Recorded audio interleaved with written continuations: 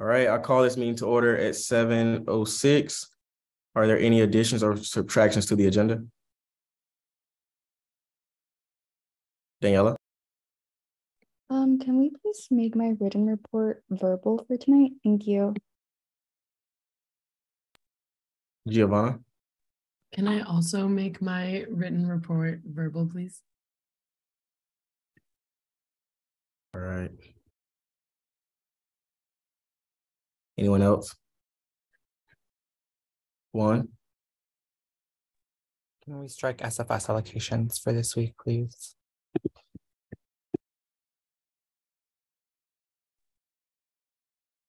okay. Can we also uh add a, under new business, a discussion about in-person meetings?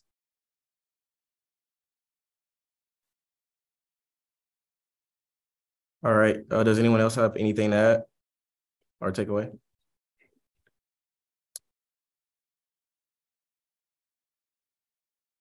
I see a Helen hat has their hand raised. Is that a proxy? Hi, I'm kind of confused. I want to add a public comment. I'm not sure if there's a certain um part in the agenda when when I'm able to do so. Yeah, we'll, we'll, we'll, uh, we're about to open up public comment, so you just raise your Okay. hand. Awesome. Thank you so much. Yeah, no problem. All right, um, can we get a motion? I move to approve the agenda for this week. I'll second that. Okay, Sarah motions, Keon seconds. All in favor, please raise your hand.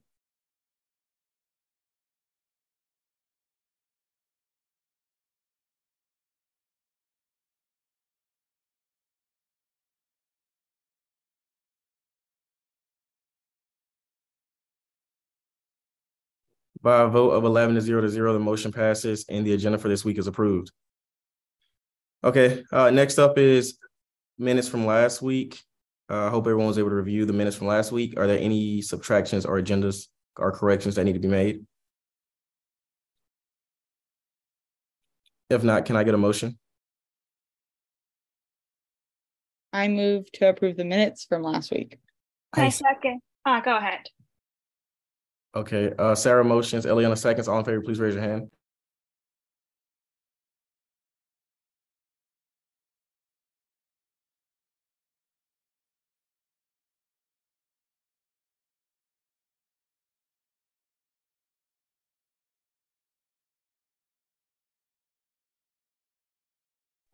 By a vote of eleven to zero to zero, the motion passes and last week's minutes are approved.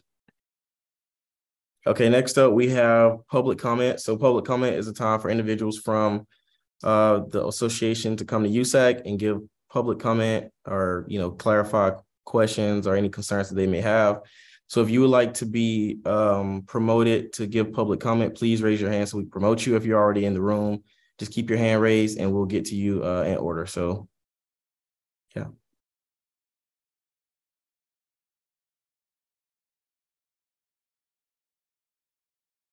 All right, first, first up, we have Kalila.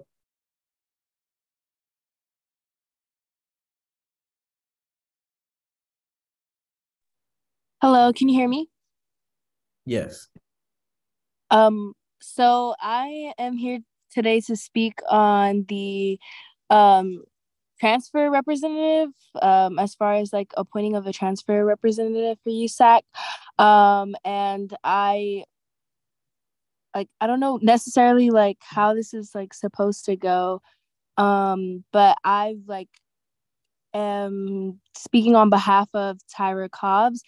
Um, personally, I've known Tyra since she's gone to UCLA. She is a transfer student as well. So she, um, ever since I've known Tyra, Tyra has been dedicated to improving um, the UCLA environment for all transfer students. Currently, right now, she um, is serving as the African Student Union representative for transfer uh, for transfer service coordinator.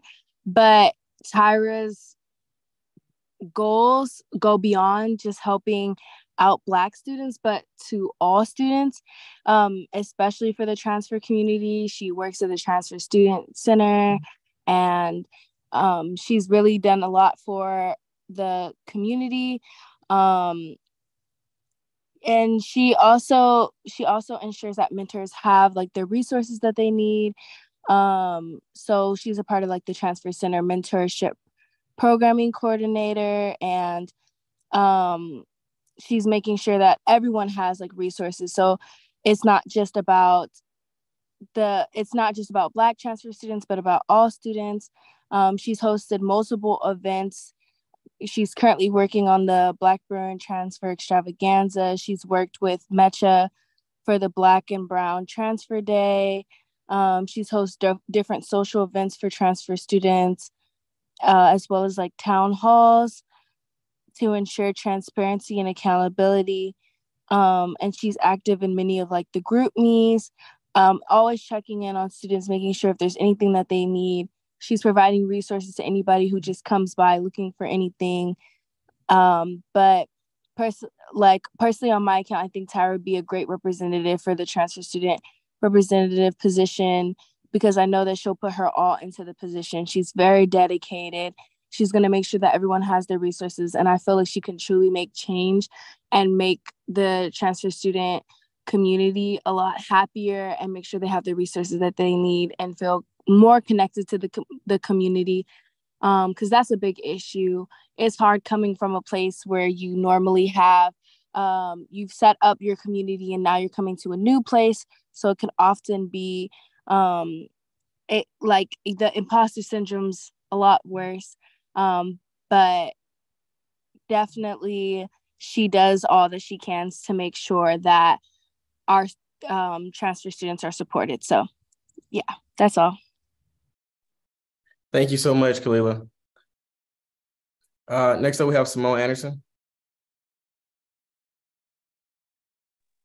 Hey, y'all. Um, it's good to be in company with y'all tonight. I'm here also to speak on be a Tyra's behalf for this appointment. Um, I mean, Kalila kind of said it all, but Tyra is a very upstanding, outstanding student when it comes to transfers. I mean, not just with Umoja and things relative to the Black transfer experience, but Tyra is very tapped in with CCP. Tyra doesn't just work in the BBRC, but Tyra also um, works in the Transfer Student Center. Um, Tyra is always, whether it's Instagram and running like four different Instagram pages, or whether it's coming to these GroupMe chats or just having events, Tyra is always, um, you know, telling people about their resources. And this is a good sign of an empowered student, right? Which is what I'm sure all of y'all view yourselves that are sitting here on council right now. And I'm sure you want some like minded company. Um, she is somebody that takes initiative and, you know, that is very familiar, you know, and I think embodies well that student run model taking on um, that initiative. I mean, look at all the work that she's doing right now, and it's completely uncompensated. And she's not just doing work for the Black transfer community, but um, to Kalila's point, all students. Um, you know, she's doing collabs with MEChA and uh, other mother organizations, and she's really just, um, you know, this is stuff that I haven't even think about. Tyra's added a lot of more stuff to her job description, you know, and quite frankly, expanded more beyond what's in the ASU's constitution for all that she does. Um, so you know, I, I just think uh, what not to have somebody better, and we ain't just gonna talk about educated. I mean, look at what Tyra has been through in her own experience. Tyra got a couple associate's degrees. What what does that mean? That means she's she's had to go through her own struggles and in transferring here, as I'm sure y'all can relate to. But look at her coming out on the other side, and she's hungry and she's back for more. And we ain't even gonna talk about that that near perfect. Uh, what she, what you got, Tyra? Like a three point nine or something? I should know this, huh? As somebody who works for a retention project, but like y'all are out here, um, going above and beyond, and um, you know, really um redefining um, what it means to be a student leader on this campus. Um, and Tyra is really stepping forward. So um, I really hope that she is, her work is a model and an example for everybody to um, learn from. She's not just taking on all these roles for clout or for resume builders and not doing any work and half-ass and doing her job. No, she she really walks the walk as much as she talking that talk. So um, I think she's more than qualified, and her resume definitely shows that she has what it takes to bring on um, this position. Thank you so much. uh, public com- commentators, let's try to keep it like to a minute, okay? But hey, thank you. Um, Next up, we have Bradley.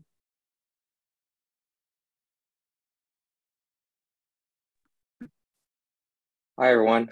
Um, my name's Bradley, and I came here two weeks ago to voice my complaints about poor communication from many of the USAC funds I applied to for the Idea Hacks Hardware Hackathon put on by IEEE UCLA. Um, I just wanted to come back um, here today and let you know that we put on a really successful event, and I really appreciate you guys, especially ARC and AAC, for moving really quickly to finalize and push our recs through SGA. Um, just a quick summary: our event hosted over 240 for, uh, participants from both UCLA and community colleges who spent 36 hours designing over 40 unique projects um, that had really cool um, topics in electrical, mechanical, and computer engineering. Uh, I'm going to send a link in chat of some of the projects students created. Um, they're really interesting, and I really want to quickly highlight one. Our first place prize uh, went to a cryptocurrency based Monopoly game that uses computer vision to autonomously track every player's move on a custom laser cut game board um, and display the current game state on an LED panel that like mimics a stock market style graph.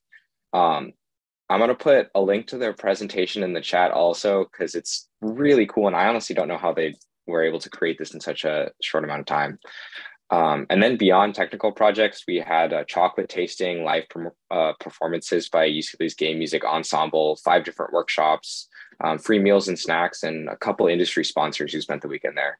Um, so I know I've had my grievances with you guys, and I hope you haven't been too stressed out or offended by that. But I've seen firsthand what is possible when you come together and work promptly to support the tens of thousands of students of here. Um, I'm still waiting on BOD and TGF to sign off on two recs for me, but overall, I really appreciate you helping out, helping me put on this event. And I know our hundreds of participants will remember it from years to come. Um, I know this is a little bit long, but I just want to quote one thing that one student told me in our post event survey.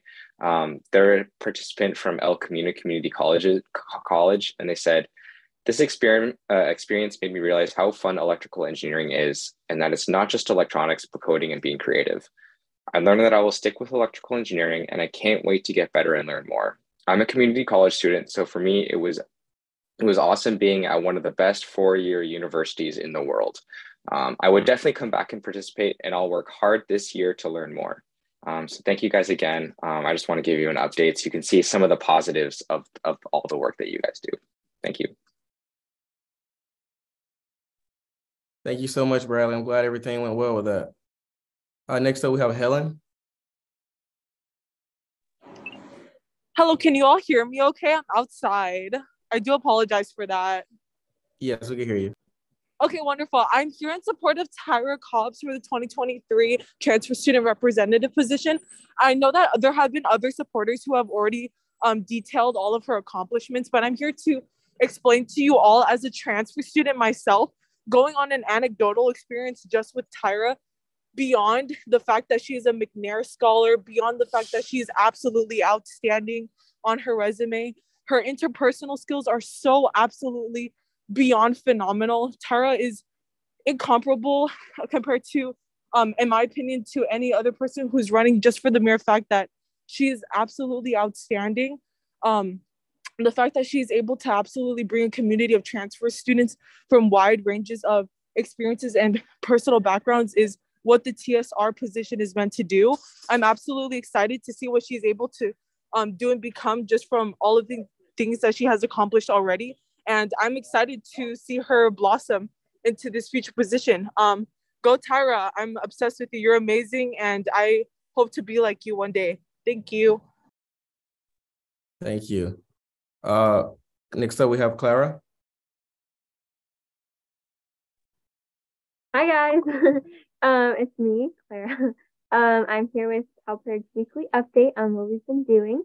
Um, for context, uh, last week we started our new ocean conservation campaign um, with a really big week of action.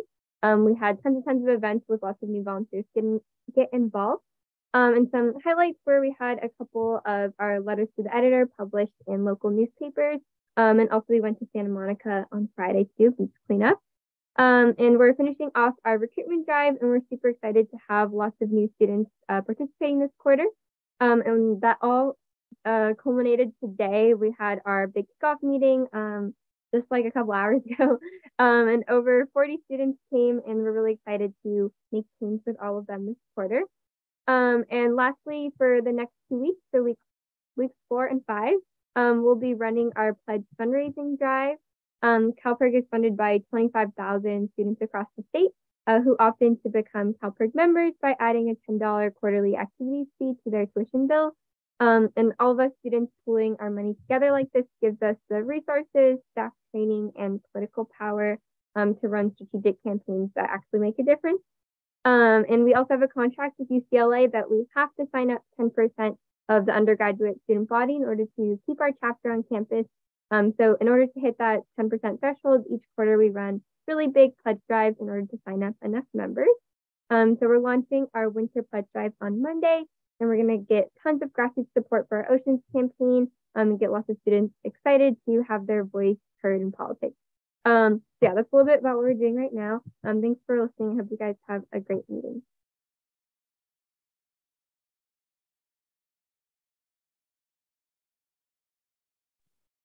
Uh, thank you. All right, next up we have Jamila.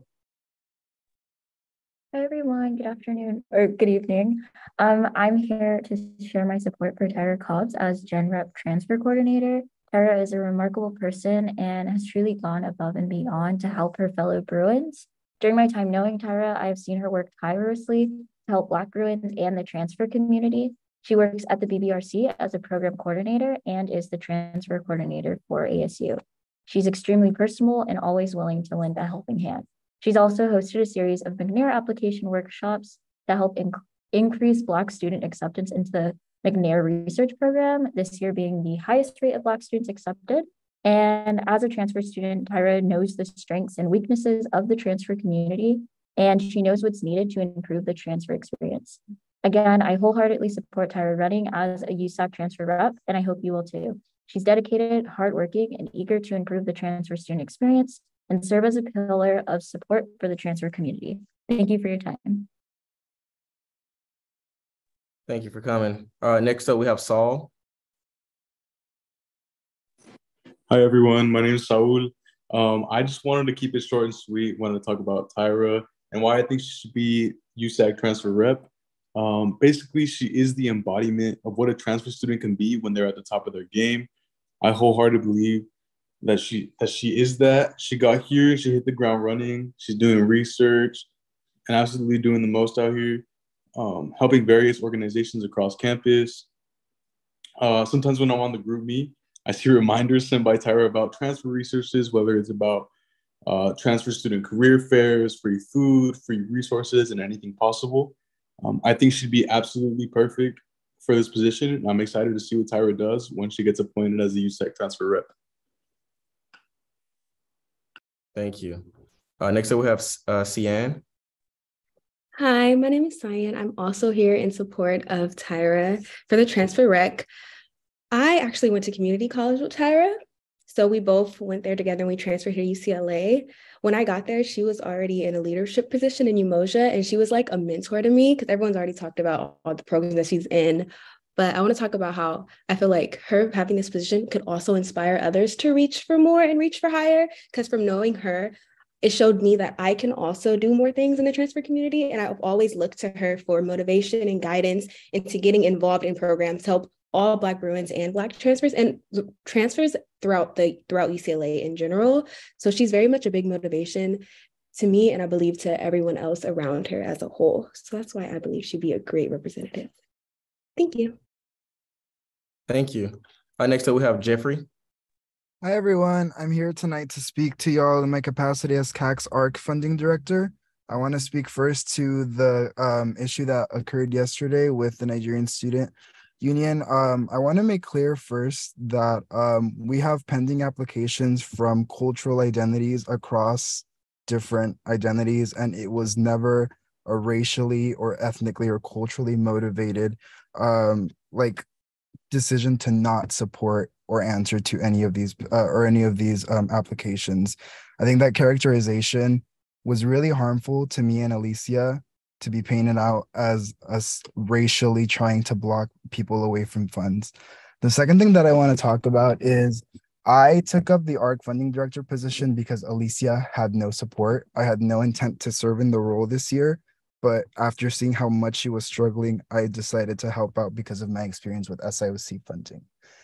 in my experience, I'm barely being onboarded, and I have to deal not only with almost two to three ARC applications coming in every day, which may not seem like a lot, but that means that we're getting 10 to 15 every week in a in quarters where we have two funding cycles. Additionally, Alicia and I are still trying to pay out community fund stipends that were allocated by last year's ARC staff. We're still also trying to pay out reimbursements that were made to Latinx graduation last year, where where folks are literally now having to pay funds um, out of their own pocket. So there's a lot going on. We're trying to catch up but we need support and like i re- i know that like other funds are struggling and i know that students need their money but i also like i'm here today also to like make it clear to council but also to the student body that if yeah like if y'all need these funds y'all should be applying to these committees you know like um, I think it's an unfair expectation for anyone to have that council or their funding director should be turning out applications every day as if they don't have jobs, lives, and responsibilities outside of this work. I know we all took this work on willingly, but I think that the, the I think that the school community owes council and our funding directors some slack, and I think that we need to be kind to each other. And I think um, I'm really like motivated that SGA is meeting with Alicia and I tomorrow to try and to try and come up with a plan to move forward.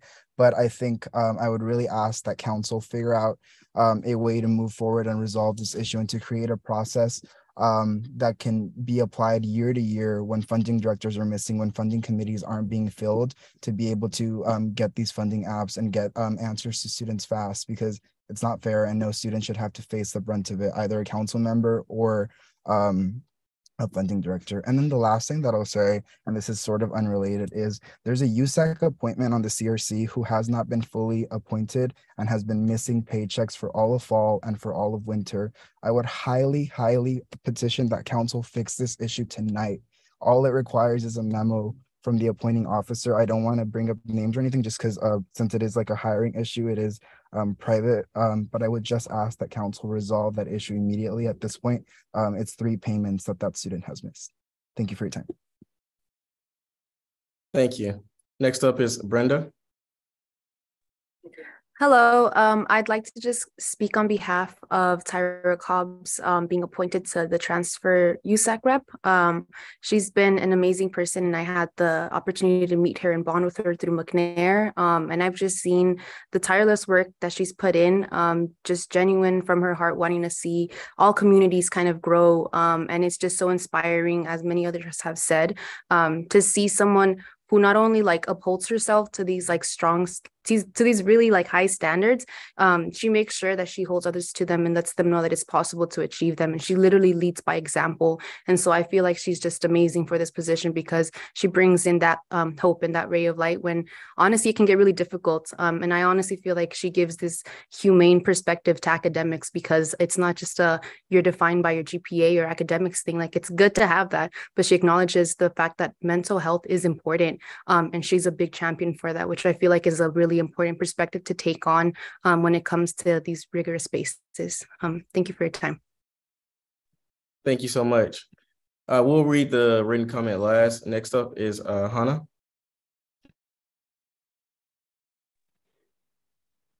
Hello, uh, hi there. So I would also like to um, uh, support uh, Tyra Cobbs for as a transfer representative. Um, so I'd like to say that Tyra has been really helpful as a first year transfer. Um, she has uh, really uh, stepped up like and helped out and reached out with a bunch of resources to help uh, get adjusted and um, into UCLA and also she's hosted uh, various um, social transfer uh, socials and game nights as well as um, like uh, someone mentioned earlier, uh, she has helped get the highest amount of Black Bruins in McNair, and she has also helped me with my McNair application, uh, which I'm thankful for. And uh, I believe Tyra is really uh, qualified, if not overqualified, for this position. So, thank you. Thank you. And uh, Heaven? Hey everyone. Um, I apologize for my noisy background but I'm also here to um, support Tyra in her um, running to be USAC transfer representative.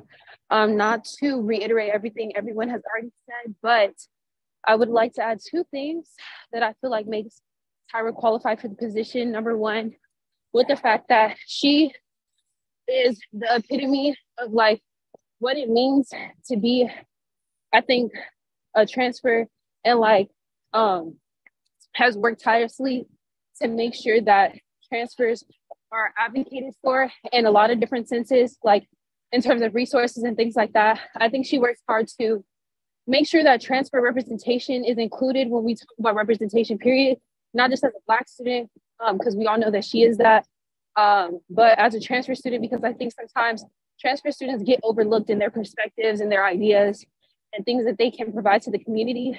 Um, and so I think that Tyra does an amazing job of like advocating for transfers to be in spaces that don't normally have that kind of representation from McNair um, to other leader position, leadership positions on campus. And I think something else that Tyra really does well is advocate for like transfers to, to be more united within the UCLA community in general. I feel like sometimes we um, have a disconnect between us uh, students that came to UCLA as freshmen and transfer students, and she works hard to like bridge that gap to make sure that you know that they feel included and that they feel welcome at UCLA, regardless of like their journey to get there. Um, and so I'll get off my soapbox, but um, that's what I would like to add to the conversation about Tyra, and I fully support um, her getting this position for USAC transfer representative. All right, thank you so much. And then, um, Naam, I see you have a hand. Uh, we're gonna. Did you have? Was that on purpose? It's for to read the one that's in the Q and A. Okay. Um, just so that didn't get lost, but um, person said, I can't stay long, but I wanted to second everything that was said by Simone about Tyra Cobbs and my support for her as the USAC transfer representative. Though I don't work with her directly, I see the work that Tyra does for the transfer community, particularly the Black Bruin transfer community. And not only is she an active member, she truly cares about the communities, plural, she serves. She is both the standard and the example of an exemplary leader. In the short time I've known Tyra, she has served as an access point for beneficial resources for mental health, something that's really important to me as a Black student at a predominantly white institution, and somehow manages all her obligations while remaining a dynamic member of the Black community. To know Tyra is to know that she is truly a pillar of the Black community at UCLA and has made more tangible change in the short time she's been here as a transfer than others. All right, awesome. Thank you. Thank you so much to everyone who came out tonight and spoke. Uh, we'll be closing public comment at 734. All right, next up we have funding. Uh, I understand that uh, Josh has a proxy here tonight. So um, we'll first we'll go into capital contingency. Um, hi, yeah. Uh, could we first um, strike capital contingency allocations? Uh, we've already uh, voted the agenda in, so if you don't have anything to say for it, you could just say we'll you'll talk about it next week or something. Okay, perfect. Should I present the allocation then, just now? Did, well, you wanted to strike capital contingency? Uh, yes, and then we have a contingency programming um, allocation update as well. Okay, so for capital contingency, you could just say there's no capital contingency, and then you can just go to ca- uh, contingency program. Just uh, go to that one. Okay. Uh, yeah. So there's no capital contingency this week, but um, this week we had a total contingency programming request of thirteen thousand four hundred forty nine dollars and we recommend an allocation of nine thousand one hundred seventy two dollars for fifteen non USAC entity related events and one USAC related event. I'm happy to answer any questions as well. Can you put those numbers in the chat for? Yes. Um, our, no, thank you. I'll send it right now.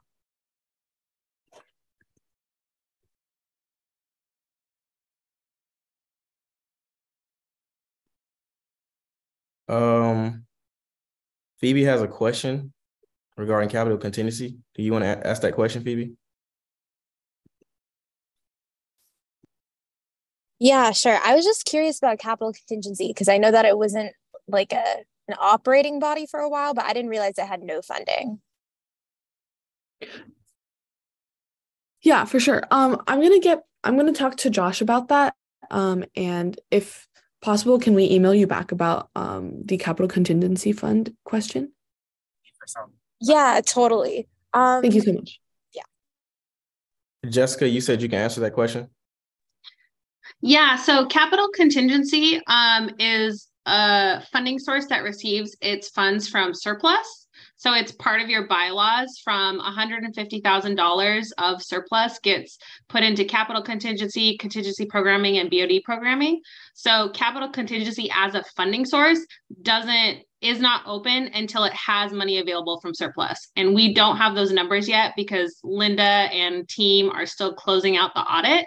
So once the audit is fully closed and we know what the number is um, from basically carryover from last year, then we will bring that number to you all to vote on. And once you do that vote, um, then capital contingency will be available for organizations in Kerckhoff to apply to to fund capital items like furniture, um, computer equipment, things like that. Okay, awesome. Thank you so much. All right, uh, can we get a motion? I move to approve this week's contingency programming of the requested amount in the chat. I'll second it.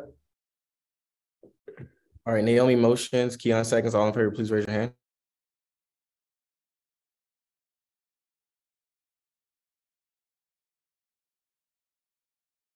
All right, by a vote of twelve to zero to zero, the motion passes and contingency program is approved.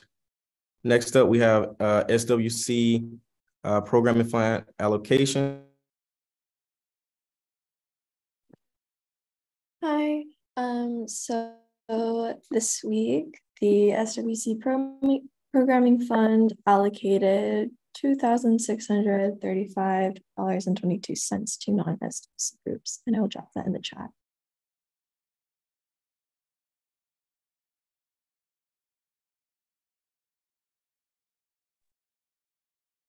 All right, can we get a motion? If there- there's no questions. Move to approve the SWC Programming Fund. Oh, actually, I'm sorry. That's, I, I forgot. That's a consent item. My bad. So does anyone have any questions, concerns, or comments about this? Uh, Alicia, I see you have a hand raised. Is that an old one?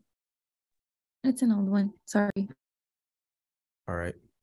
So there's no questions, concerns, or comments or objections. Um, the fund is approved. Uh, next up, we have Bru- Bruin Advocacy Grant allocations.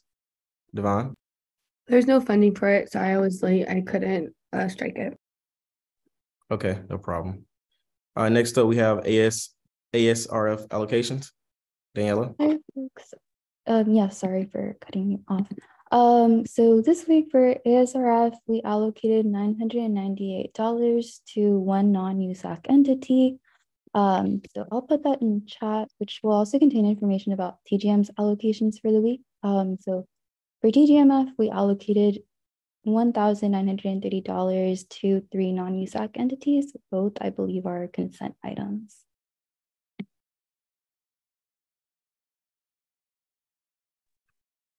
all right. Does anyone have any questions, concerns, or comments? Okay, if not, then AS, ASRF allocations are approved and AAC travel mini grant allocations are approved. All right, next up we have ARC allocations. This week, ARC allocated $2,500 to non-USAC entities. Does, does anyone have any comments, questions, or concerns? If not, it's approved. Next up, we have TGIF. Uh, TGIF is allocating for $1,733.23 to three non-USAC entities, and then zero dollars to um, any USAC entities. And then we're still pending decisions for the main fund. So that's just the mini fund week two allocations. All right, if, does anyone have any comments, questions, or concerns? If not, TGIF for this week is approved. Okay, next up, we have um appointments. First up, we have the transfer student representative position, which we had to fill. Um, so we have Tyra. And let me, where is she? Is she in there? She's been promoted. There we go.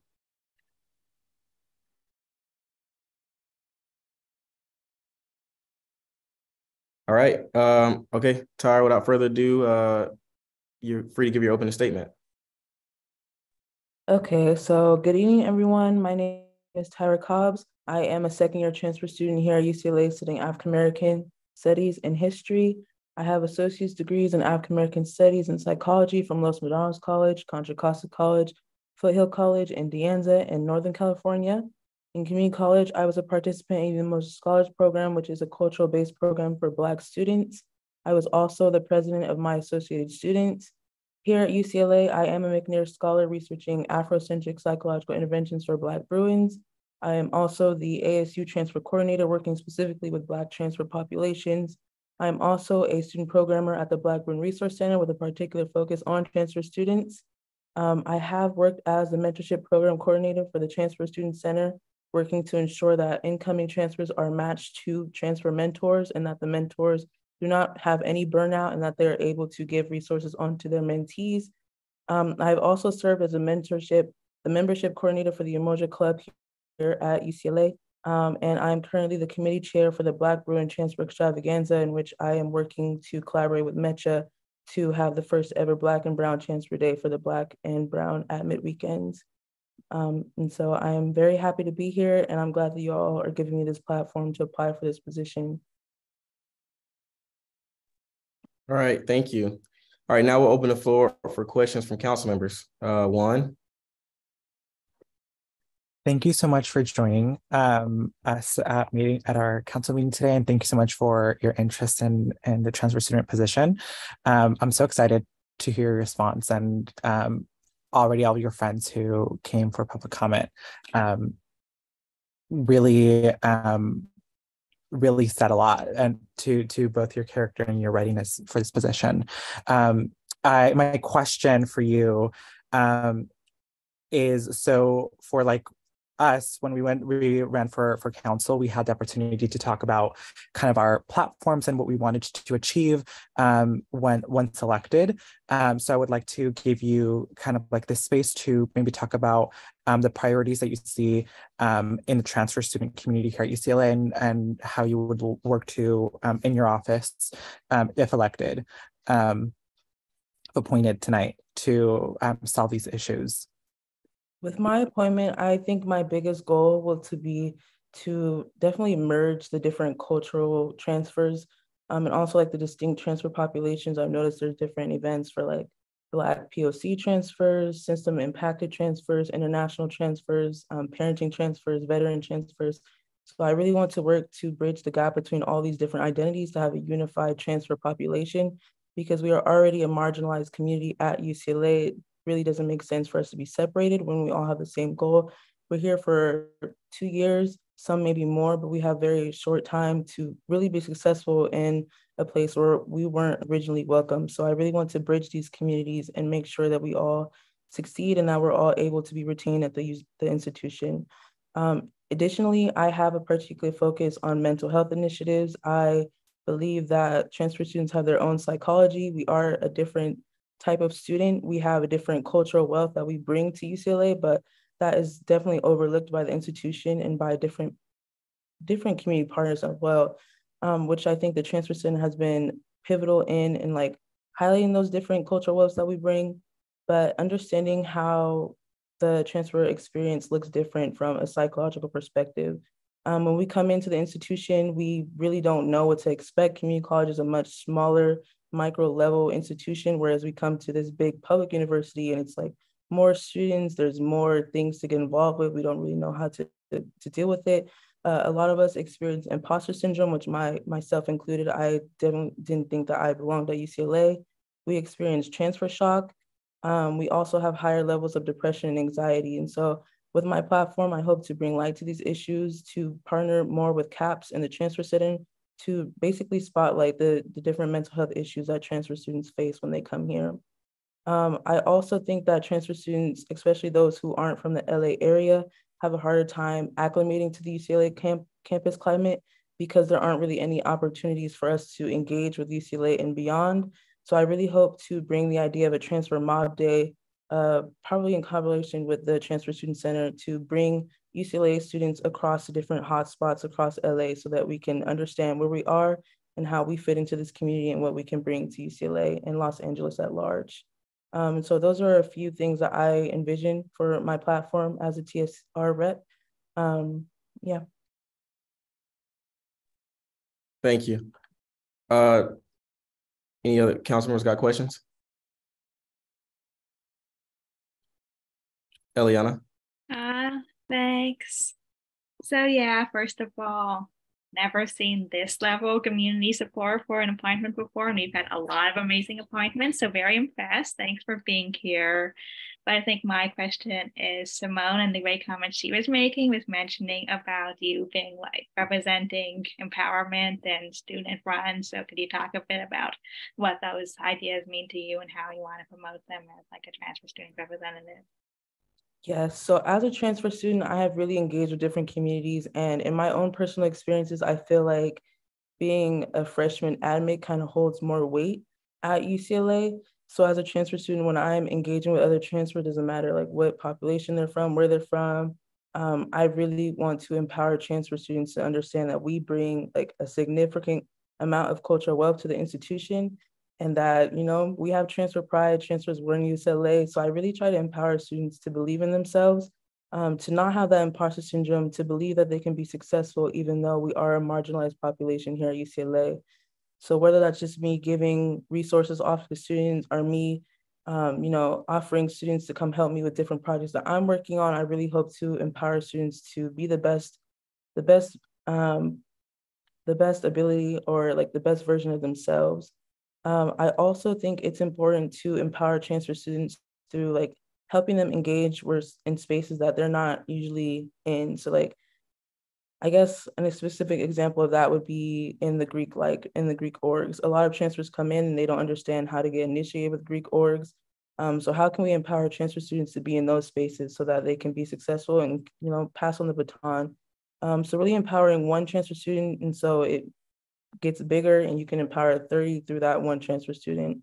Um, so just reaching different transfers and having them understand that even though they're at this big institution, we're not used to this space, we can be successful here despite our identity as transfer students. And maybe even being a transfer student makes us more, more successful, more able to be successful here at UCLA. Love that. Thank you so much. All right. Um, any more questions? We got one more question if anyone wants to ask. All right, uh, Sarah. Um, hi, Tara. Thank you so much um, for coming out um, and speaking to council. Uh, I just wanted to echo what all the other council members said, um, just because it was really amazing to hear all the wonderful things people had to say. Um, so I guess my question was um, sort of what I guess I'm trying to I'm trying to think how to phrase it. What um based on the past transfer rep, how do you hope to like emulate um what he what uh Teddy did and what do you hope to change um in the tenure in your tenure? I think the past TSR reps have done amazing jobs in connecting with different community partners.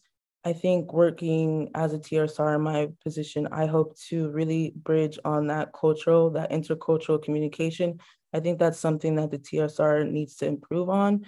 I still see a large amount of disunity in the transfer population, and it's hard for different communities to kind of um, work with one another. And it's not even just transfers. I think it's different ethnic groups at UCLA in general, but particularly, I think it's more important for transfer students because we are such a small community. So I think that that would be the biggest thing that I would change.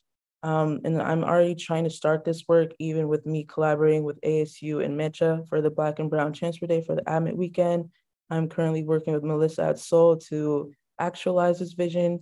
And I hope to have other events like this in the future and to create a culture where we don't have to say, well, you're a Black transfer, you're an Asian transfer, you're a Latinx transfers. We can have like all transfers together, have a global transfer day. Um, and so that would really be my vision in terms of changing the TSR representative position. Thank you so much. Okay. Um, Tara, uh, you're now free to give your closing statement. So once again, I just want to thank you all for giving me this platform. As a Black student transfer, I am really happy to be here. I am marginalized in two different ways, but specifically as a transfer student, I hope to come into this position with a strong understanding of what it means to be a transfer and how I can support the transfer community here at UCLA. And I hope that you all will help me to help the transfer community um, by appointing me to this position. And once again, thank you for having me here. And I hope that you guys vote me into the position. Thank you so much for coming. All right, next up, we have ARC's recommendation. ARC voted two to zero to one on Tyra. Okay, does anyone from ARC want to speak to that?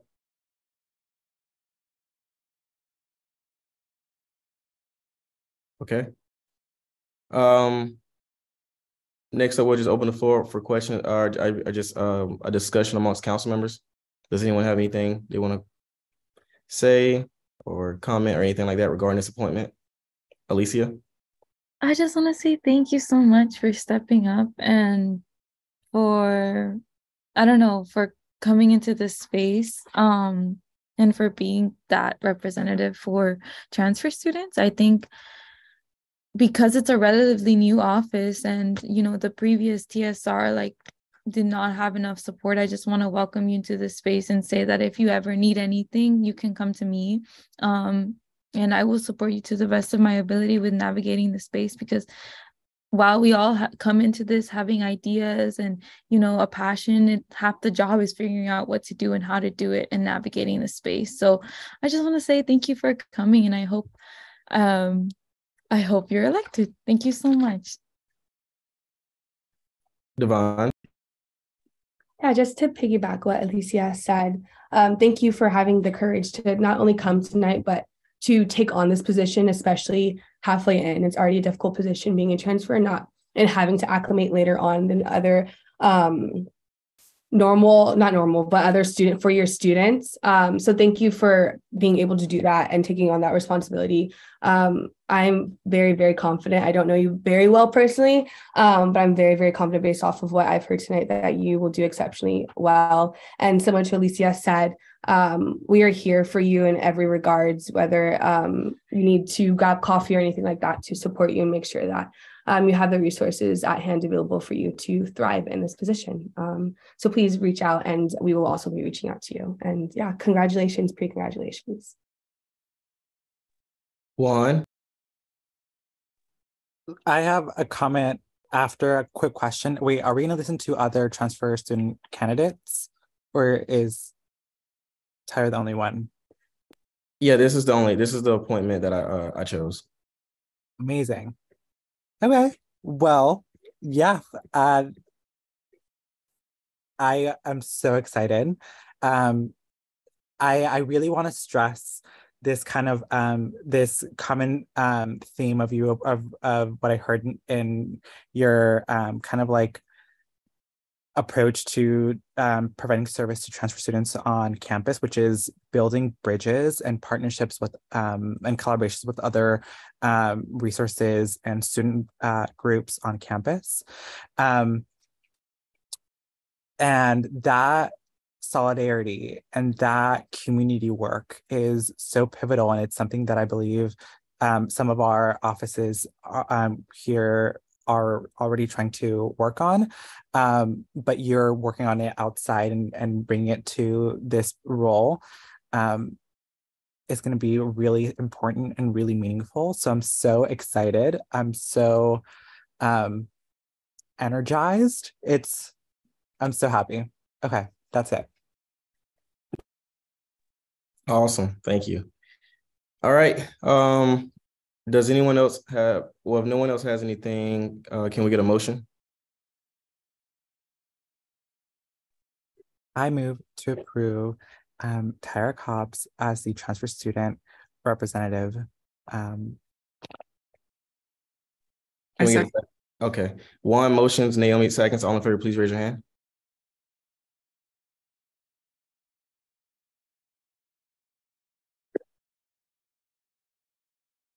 All right, and by a vote of twelve to zero to zero, uh, the motion passes and Tyra, you're now the transfer uh, student representative. Congratulations.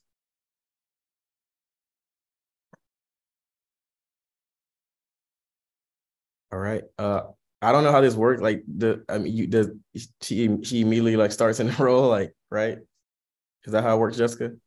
Um, yeah, so Tyra, um, I'll connect with you offline if you can um uh direct message me your email um to get you your hiring paperwork. And then um what we can do is we can have a member of J board come to the next council meeting to swear you in at the beginning.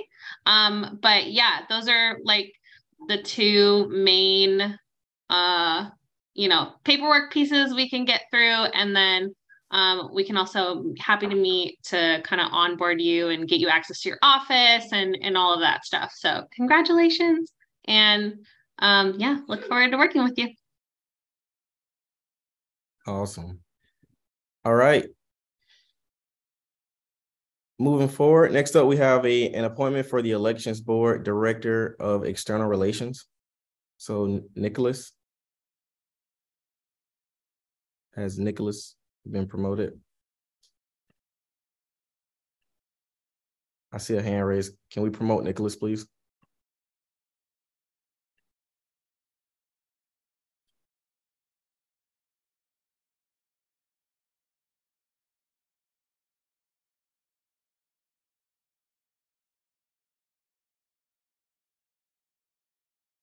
I think, um, would that be like the IVP proxy that has to promote Nicholas? Like who, who has proc, uh, promoting powers currently?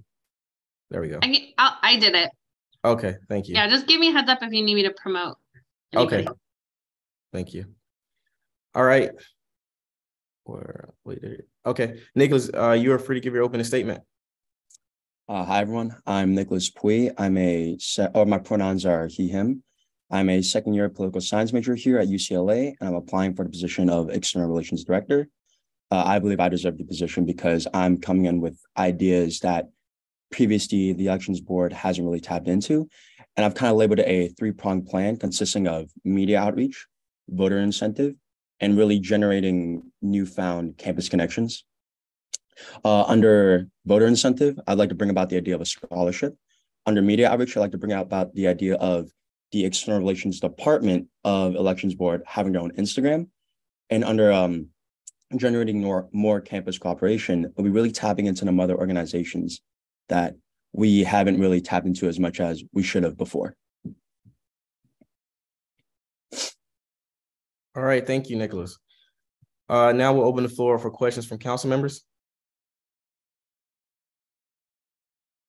Does anyone have any questions?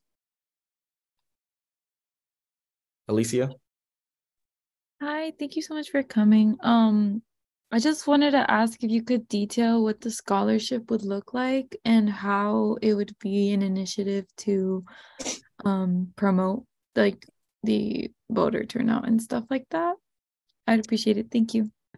Yeah, of course. So um to give some subtle background, I am a I am the current chair of scholarship for IFC. So I overall know about the general good that a scholarship can bring about. It's a net positive in my eyes. I mean, a scholarship for a great cause, you know, good monetary um feedback for students is just a general great idea in my opinion. So the way I would organize it specifically is I would ask the voter, it'd only be eligible to voters. And I essentially ask them, who did you vote for? Why did you vote for them? And what other policies or changes would you like to see at UCLA that some candidates or the school as a whole hasn't really touched upon? And then the method of payment could be in the form of UCLA store gift card. Um, this could be a monetary relief for some students. They could spend it on groceries, textbooks, school supplies at UCLA store. So that's typically how I envision it in my head. Uh, Juan? Thank you so much for joining us um, today. I wanted to give you um, the platform to talk about kind of like your um, leadership experiences or other professional, um, like your professional background um, and how maybe that has prepared you and set you up for success for maybe taking on this role. Mm. So, as I previously mentioned, I was appointed on IFC last year as a freshman as the VP of programming. Um, and essentially, as VP of programming, all I did was just I just planned and coordinated events, all I, I guess IFC oriented events. So let's say it was new member orientation, fundraising, you know, stuff along that line. So I have a general gist of how the school works in terms of planning venues, getting together organizations, and getting general cooperation across campus. Beyond that, I'm a current legal attorney, or not legal intern for uh, an attorney office in Encino, California. And that taught me a lot of regards of planning, you know, putting together whole schedules and working with multiple people's calendars is that was what I was doing for five different attorneys. Um, beyond that, I'm currently doing research for a professor, Dr. Jennifer Wagman, actually, of the School of Public Health. And I'm doing research regarding sexual assault and sexual violence and prohibiting it within a college um, sphere. So I got to talk to a lot of different groups that necessarily wouldn't have the voice that they would necessarily have within public or around campus on a one-to-one basis.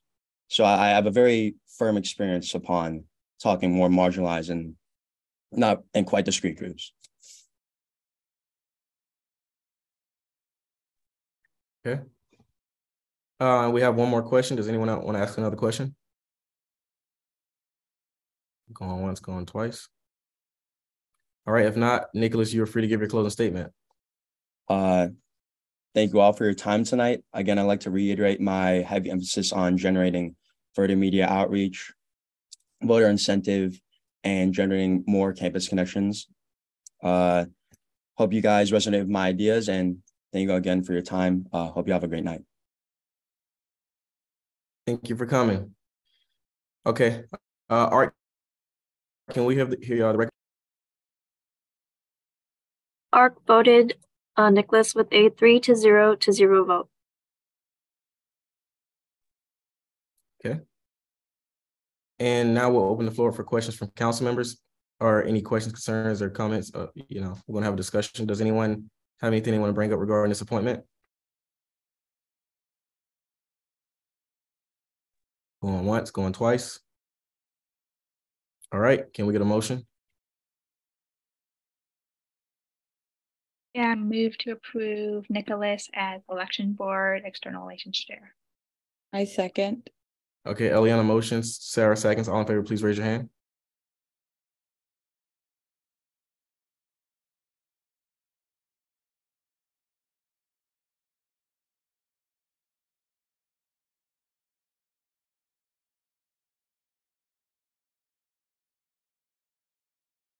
All right.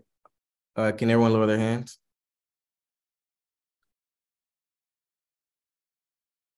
All abstaining, please raise your hand.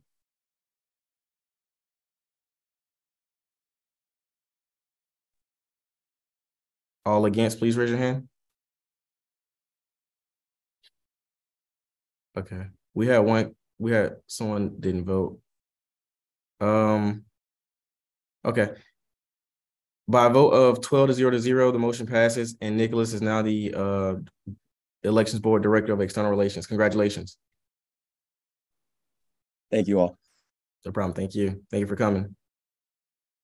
All right, next up, we have a appointment for Finance Committee. Uh, I hope I pronounced this correctly. I think it's uh, pronounced um, Irish. Have we promoted Irish yet? Okay. Where is Irish. Okay, there we go. Okay. Uh, hey, how hey, how you doing? Um, you're free to give your opening statement. Good evening, Council. My name is Iris, pronouns she, her, hers. I'm a second year economics major. A little background for I'm here today applying for the position of Finance Committee Associate.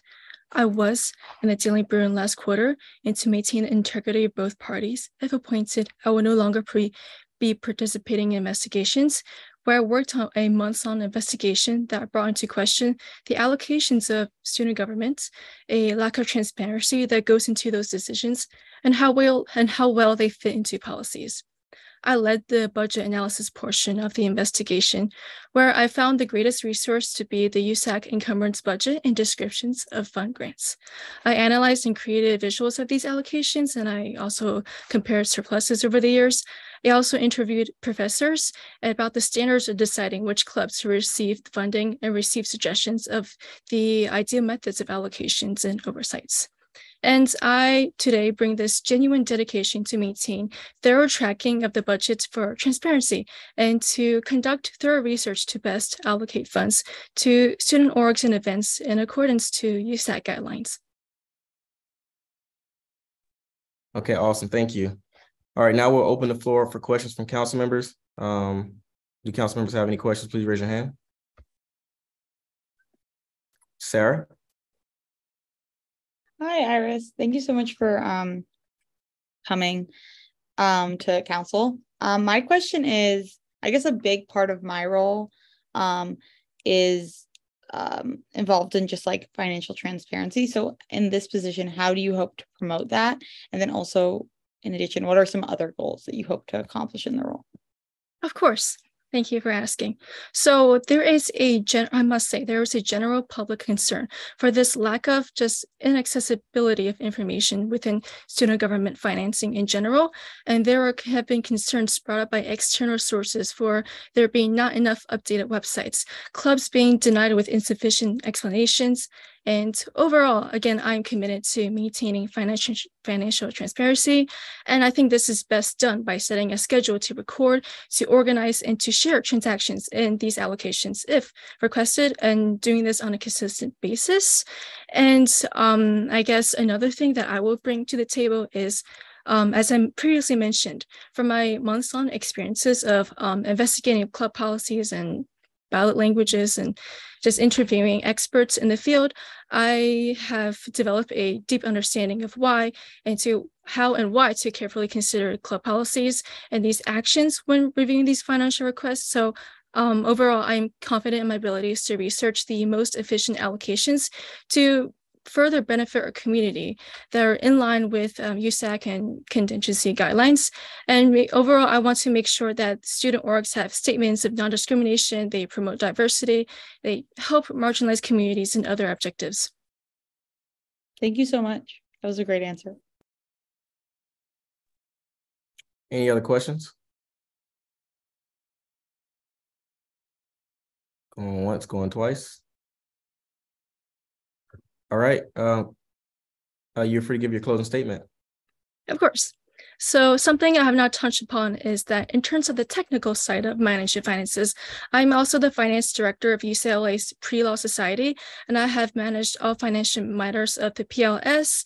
As we have over 600 members, I have experiencing in managing the finances of a semi-large organization, and I hope to strive to expand my skill sets on managing finances of a much larger organization on FICOM. And I also like to mention my dedication to equality and equality within um, the organization and that's I believe that all organizations and club allocations should be done with neutrality and without biases. But I also believe that, and I will strive to make sure that allocations will be made with a goal to prioritize community service and providing services to disadvantaged groups and ensuring academic um, success of students. And um, along with my technical and um, personal passions, I'm dedicated to maintaining transparency and researching the best allocations of funds to um, student orgs and events. And um, well, thank you for having me here tonight, Council. Thank you so much. Thank you for coming. All right, now we'll hear ARC's recommend, uh, recommendation. ARC voted zero to zero to three on Iris. Okay.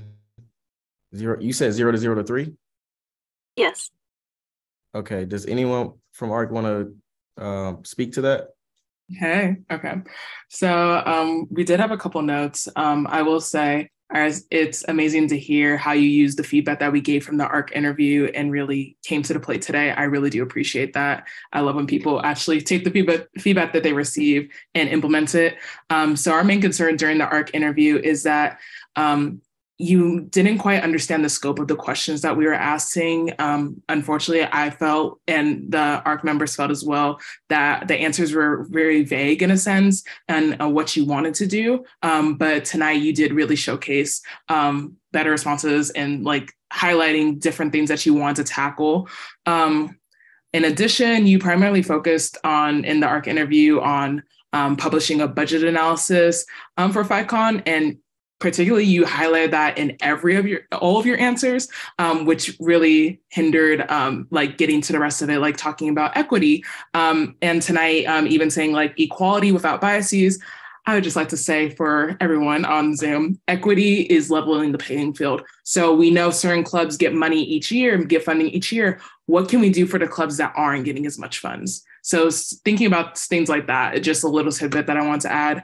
Um, yeah, like we said, a lot of some of the answers were vague. Um, and you did get to mention tonight um, the um, student group that you are work with financing for the director. That was also a question that um, we had had. We were like, oh, you mentioned this club that you work with. We're like, how many members? Because it could be a club that only has like say 15 members, and then we're like, oh, okay, like, are you really ready for this role? But now you mentioned like 600 members, like that's a huge responsibility, and I really want you to highlight that in your resume. Like, really like you're, you're doing the work in a role. I really just want you to showcase what you've done and the work that you'll continue to do. And thank you again i just want to say for like coming tonight and really like showing like you what you want to do and what you've done in the past. And i really appreciate it.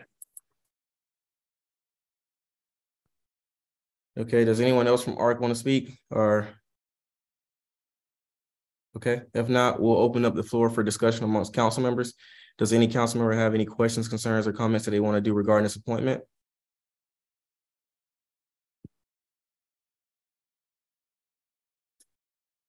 All right, going once, going twice. Okay, can we get a motion?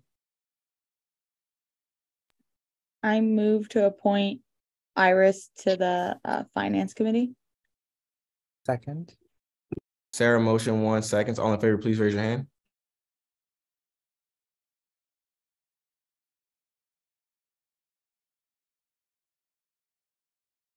All right, and by a vote of 13 to 0 to 0, the motion passes. And Iris is now on the Finance Committee. Congratulations. Thank you. Thank you all, and thank you, ARC, for the feedback. Awesome. All right. Uh, congratulations again. Um, next up, we have the John Wooden Board of Governors. These are consent items. Uh, we have Lucas, Stephen, and David that are being appointed. Does anyone have any questions, concerns, or comments, or want, want to bring up anything regarding these appointments? Okay, and then they then those appointments are approved. All right, next up we have an appointment for the Student Activity Center Board of Governors. Does anyone have any questions, concerns, or comments they want to bring up regarding this appointment? Uh, yeah, Devon. Um, Phoebe was the one who appointed this one, right? Yes, that's right. Um, I just have a quick question. Um, obviously, I completely trust your process and what you went through the interview process. Um, given, I'm trying to be as transparent without being too overly.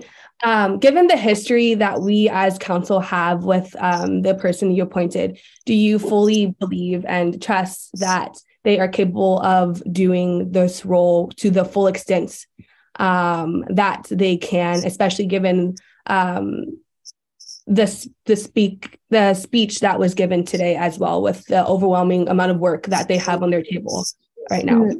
yeah that's a good question. I did think that this would possibly come up today. So um, i would say that well one just like for transparency for me i've been struggling to fill the student activity center board of governors. I got an email from mick deluca mid-quarter last year or last quarter um, saying that SACBOG has not been able to meet because we don't have its SIOC appointment. And SIOC did choose Jeffrey. So I believe in their, you know, power and say over who they want to appoint to SACBOG, given that it's supposed to come from that space anyway. And Jeffrey has served on SACBOG before, and I know that he knows the seriousness of, you know, the student activity center space to a lot of different groups on campus, especially the MOs. So I think he's going to do well in this position. I think it fits him well.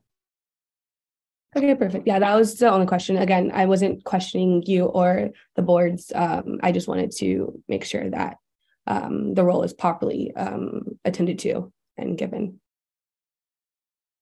Alicia?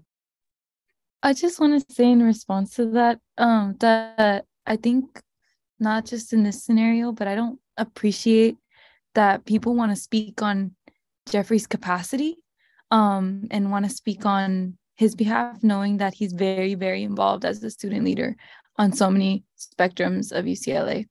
Um, and I just don't think it's right that repeatedly, when he is continuously trying to do work that people want to speak on his capacity for him, um, especially when he's not here.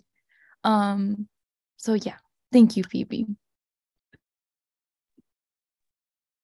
Yeah, Devon.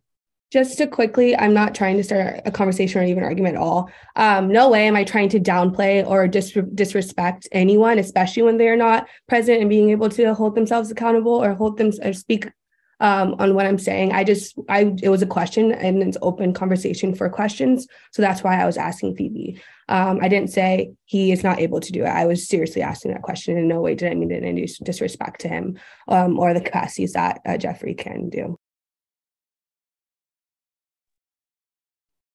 Um, I just want to say, you know, I kind of have a problem with this appointment. Um, you know, I understand that, like, oh, you know, we shouldn't. I mean, I guess question people's capacity, but it's a very valid question when we have organizations that are saying that a fund that he's been in charge of already, like, have sent five emails and he hasn't responded to them. So if he can't do good in that position, now we're adding something else to his plate. Like that doesn't, I mean, that that's a very valid argument to bring up of maybe he's too involved, maybe he's in too many positions right now, or maybe he's just, you know, ha- having like a huge workload. And I understand, like, yeah, Jeffrey is very involved. He's in a lot of, you know, organizations. Um, but I don't see like that it's a very valid point to bring up that someone who's already had a complaint about them, about, you know, being unresponsive, adding them to another organization where that same thing is probably going to happen.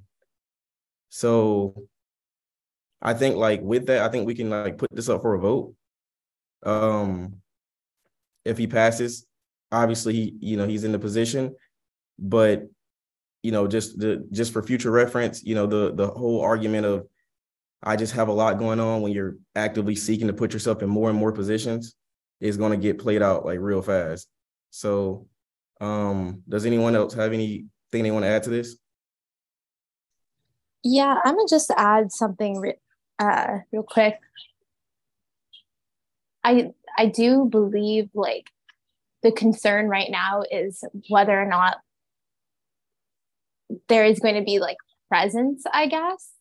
But I just want to let you know that the committee itself cannot function without like like he is the one who stepped up. So i just want to really emphasize that that like if we do decide if people decide not to vote jeffrey in today we're going to need to get somebody else quick. So i would appreciate people's support with that if that ends up happening. Uh eliana? I just want to highlight there seems to be like a bit of a systematic problem here. I mean, like here, Jeffrey was the only person for ARC, which is crazy. That's a huge position. And naturally, it's hard to get out enough responses with that. And then here he is with, here we've been waiting, we're like into, well into winter quarter, and we have, we, we're struggling to find someone for SACBOG. So at some point, we should probably see what in the world, like, I think I definitely think Jeffrey is someone who has Phoebe's confidence and SIOC's confidence should be confirmed, but also at some point we should see why in the world there aren't enough people to fill positions that are necessary for this proper service of the student body. Maybe we can put that on or include that under today's agenda item. We've already voted on the agenda item, so we can, uh, I mean, we can discuss that offline if you want. Uh, Nick, uh, Alicia? I want to respond to what you said um, and reiterate the fact that you cannot speak on someone else's capacity um, and involvement. Maybe those are shoes that a lot of other people can't fill, but he can. And you cannot blame ARC's inefficiency to work this this school year on one person when that one person has no support to run it, has not received support to run it, and um, has done everything they can to try to help the situation from our end.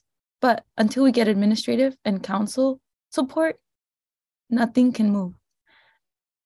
And I hope to be discussing that later this council, but I just want to say that. And it's very inappropriate to speak on someone else's capacity um, when you're not in their shoes. Daniela. Yeah, I just want to make apparent like something that I'm noticing is going on in this space right now that I personally take issue with. I feel like a lot of people partaking in this conversation have acknowledged what Alicia mentioned initially about how we cannot speak on anyone's capacity. And yet, I think we're continuing to shift in that direction simply by suggesting that it's appropriate for us to shift this into a voting matter without Jeffrey being in the room. I think that if this is a valid concern, first of all, this agenda item has been on here since Friday at 5 p.m. So I feel like if those were concerns that would receive a lot more value with Jeffrey's input, we had enough time to raise those questions in order to get his insight as well as Phoebe's. In addition to that, I feel like if it is going to move into a vote ultimately, then it'd be more appropriate to give enough time for Jeffrey to understand um, that this is how council is feeling so that he can be present at a meeting where that vote would happen. Naomi. Okay, so I'm praying to the gods. That's own response. How often does this thing meet? Is my question. If anybody has an answer. Like if they haven't been meeting, like when were they supposed to start meeting? How many meetings do they have to catch up on? How many meetings are there for the future? Like once a quarter, perfect. For like a one hour meeting, once a quarter. If you can't make that, then I don't know what to tell you. But I think once a quarter is not a huge commitment. That's what I just want to say. Um, besides that, seconding what Danny said and Alicia. Um, and yeah, I'm done for the night.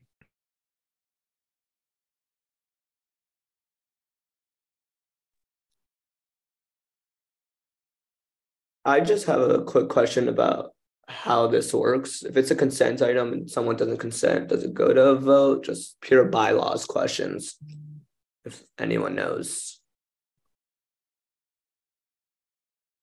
Um, I think it does, but I know someone brought up a concern that Jeffrey isn't here tonight to speak um in regards to this position. So, Jessica, what do you recommend? Um, yeah, so I'm trying to look up if that is a Robert's Rules of Order procedure versus a bylaw procedure.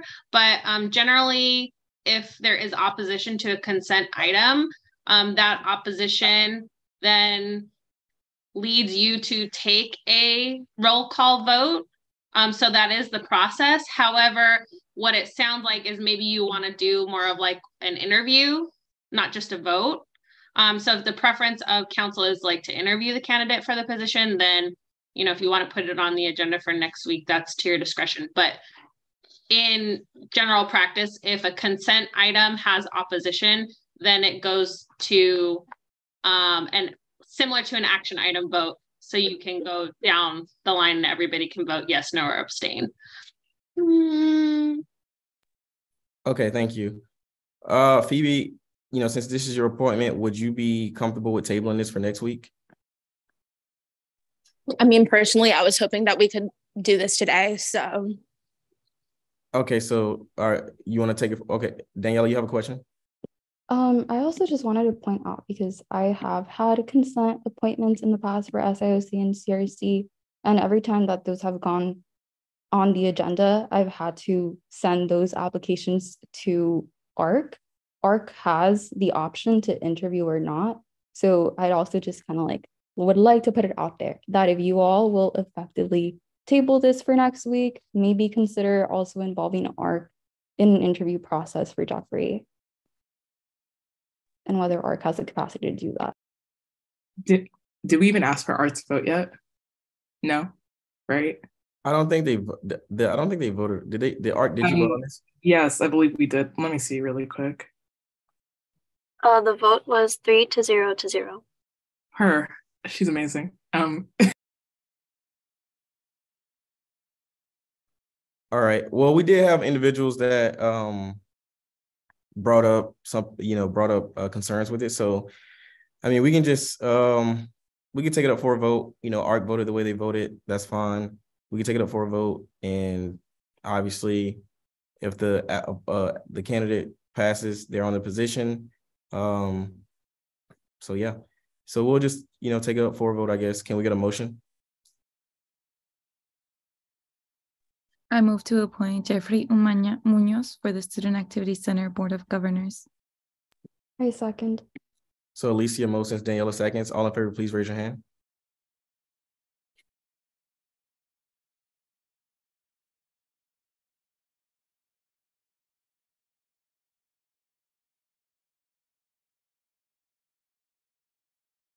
All right, can, can everyone lower their hands, please? That's eight. All right, um, all abstaining, please raise your hand.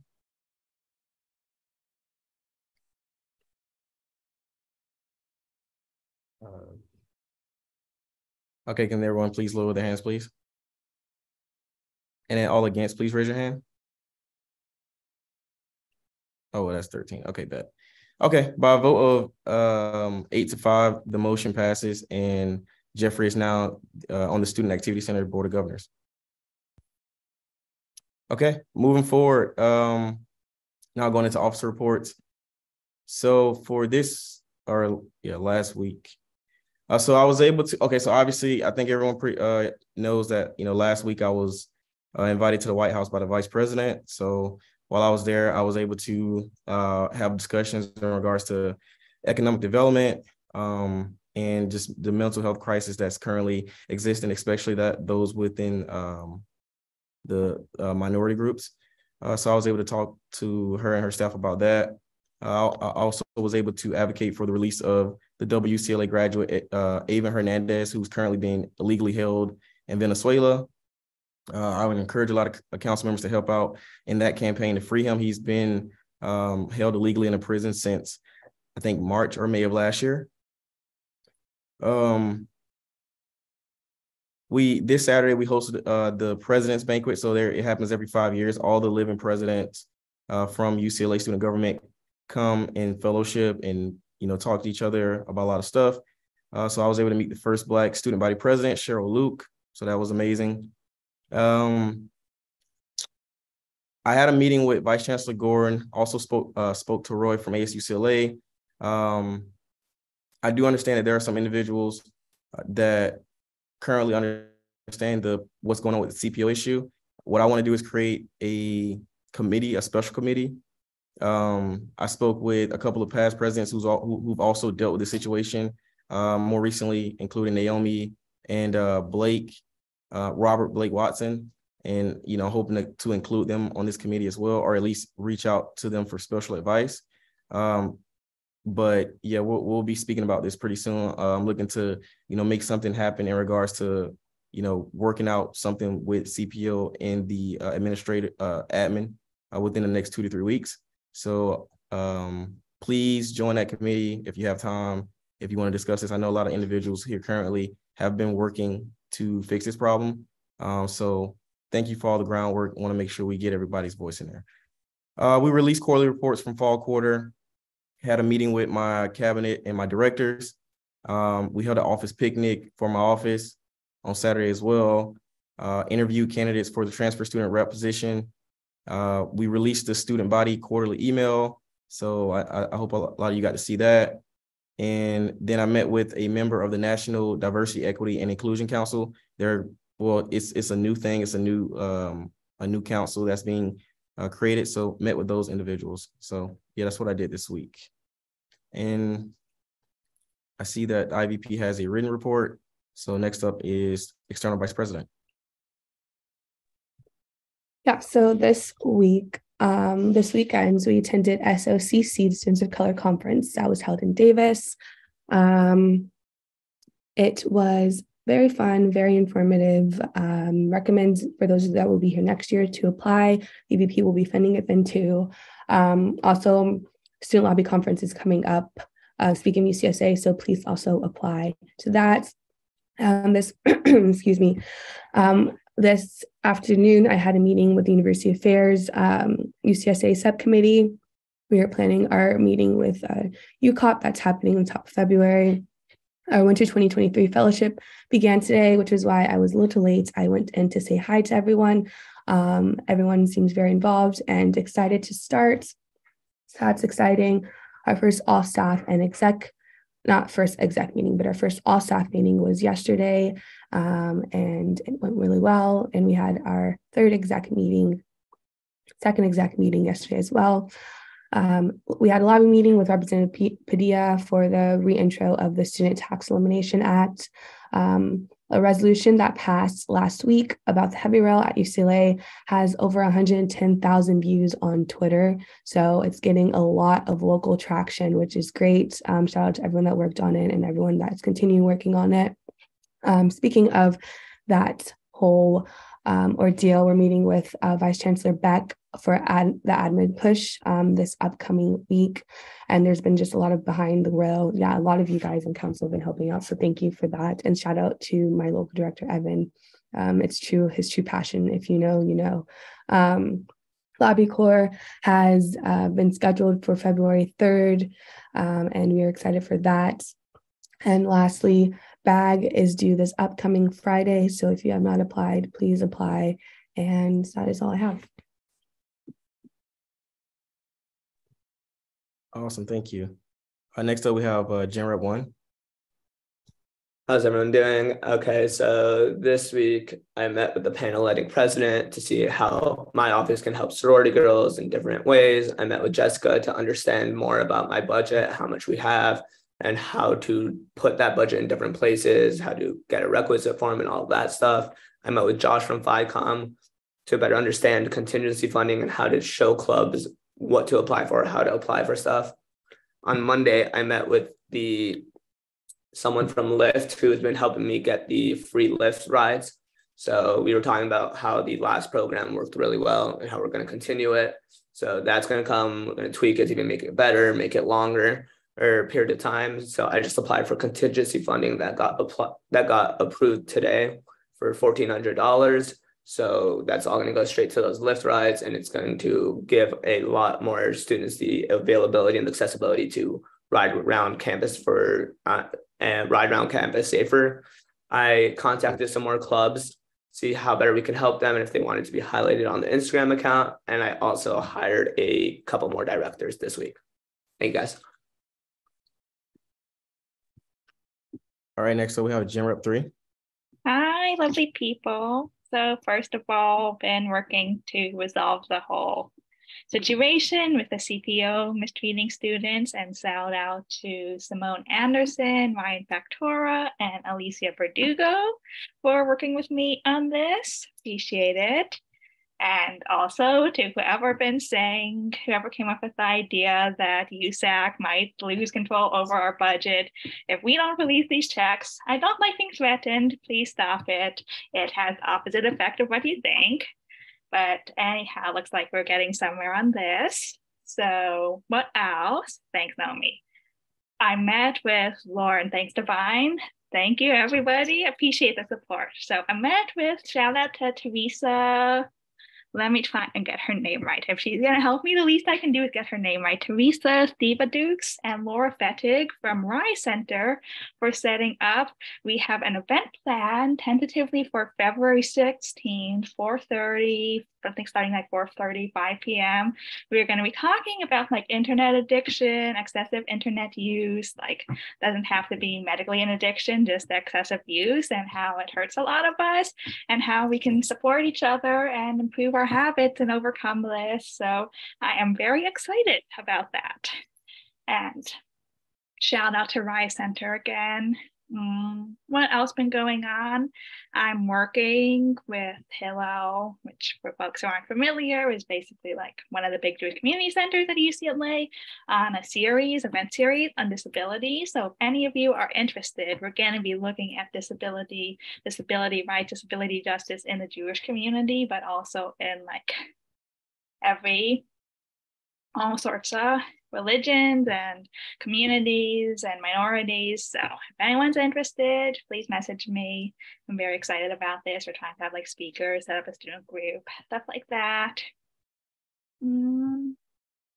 Ah, and there's a whole another UCLA has not learned anything administrators, I mean, not the rest of y'all, and are doing unfair labor practices again towards the people at teachers at UCLA Lab School. So I'll send this around both like in the Slack and under the YouTube for our lovely watchers. And everyone please support the teachers. Love you all. Have a great night. All right, next up, Academic Affairs Commissioner. Hi, folks. So, just super quickly, I wanted to issue an update for all of you about what I mentioned during week one in regards to the new report grades. So, there was a letter that was sent out on my behalf through the end of the executive director on the Center for College Academic Advising. Um, basically, the process that we're going to undergo now has shifted from what I mentioned during week one.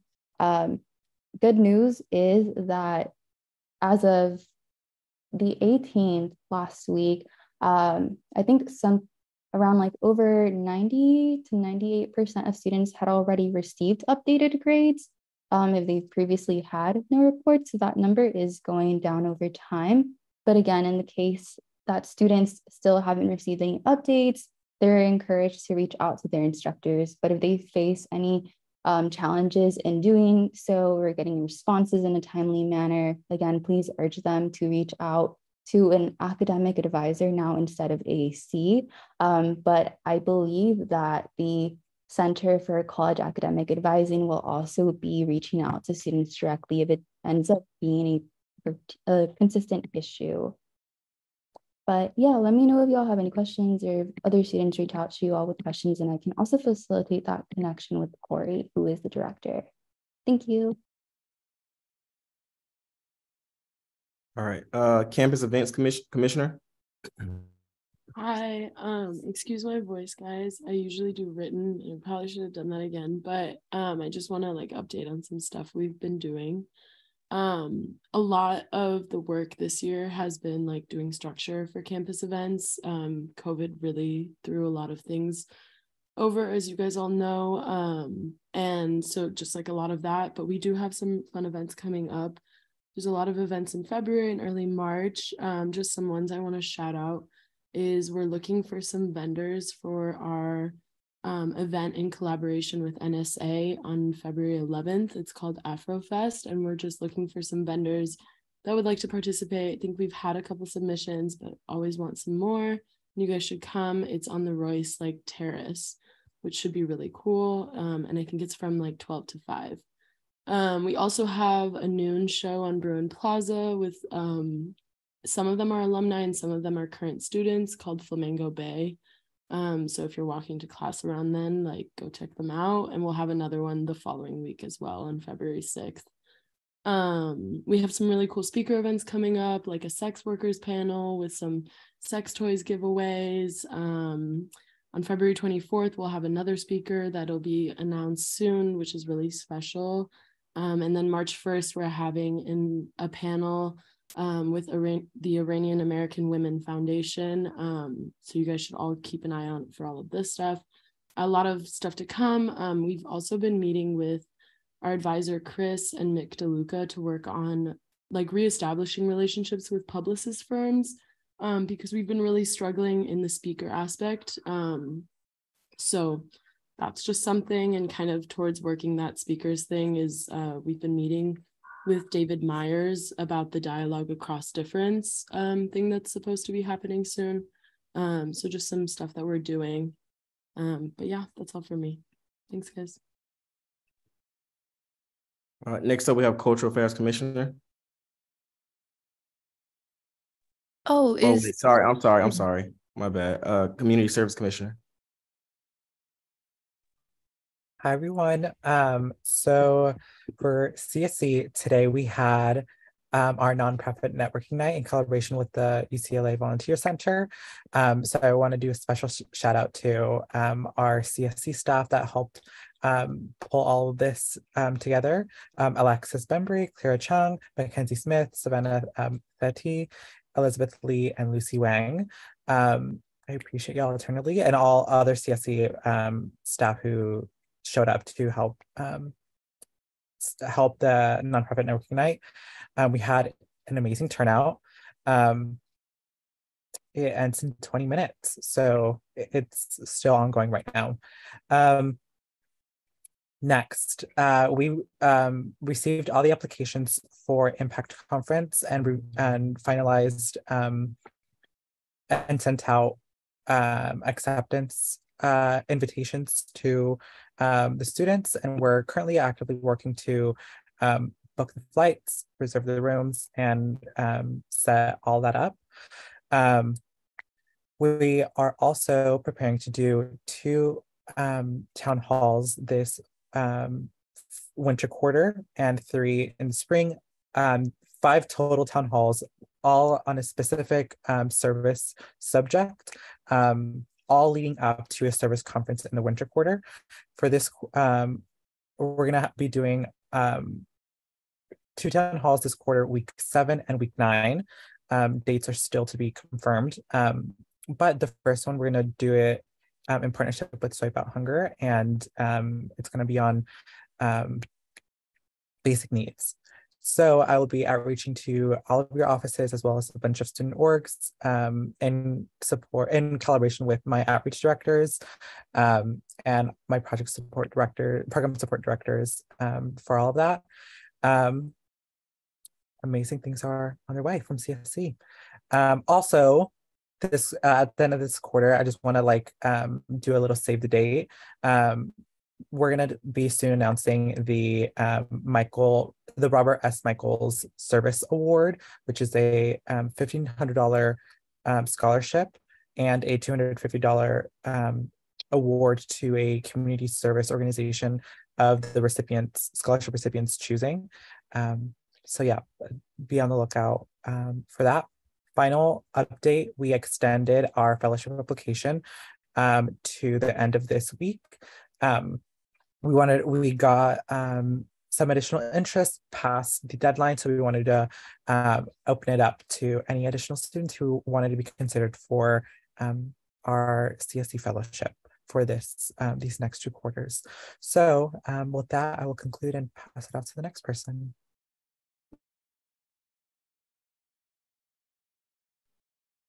All right. Uh, yeah. Nick, thank you. Next up, next up, we have Cultural Affairs Commissioner. Hi everyone. Um, so for my updates this week, um, we have um a Made with Love craft fair by the art series this Thursday from 10 to 3 on Bruin Plaza. Um, and come support fellow artists of color um with like there'll be jewelry, there'll be um crochet, there'll be clothes and other items um made with love and um we're going to go to the fire marshal to get that approved tomorrow because last week he had an emergency so he wasn't in his office um and um, for the rest of January, there won't be a word on Wednesday tomorrow, but there'll be a word on Wednesday the week after. Uh, so next Wednesday, 7 p.m. in the art gallery.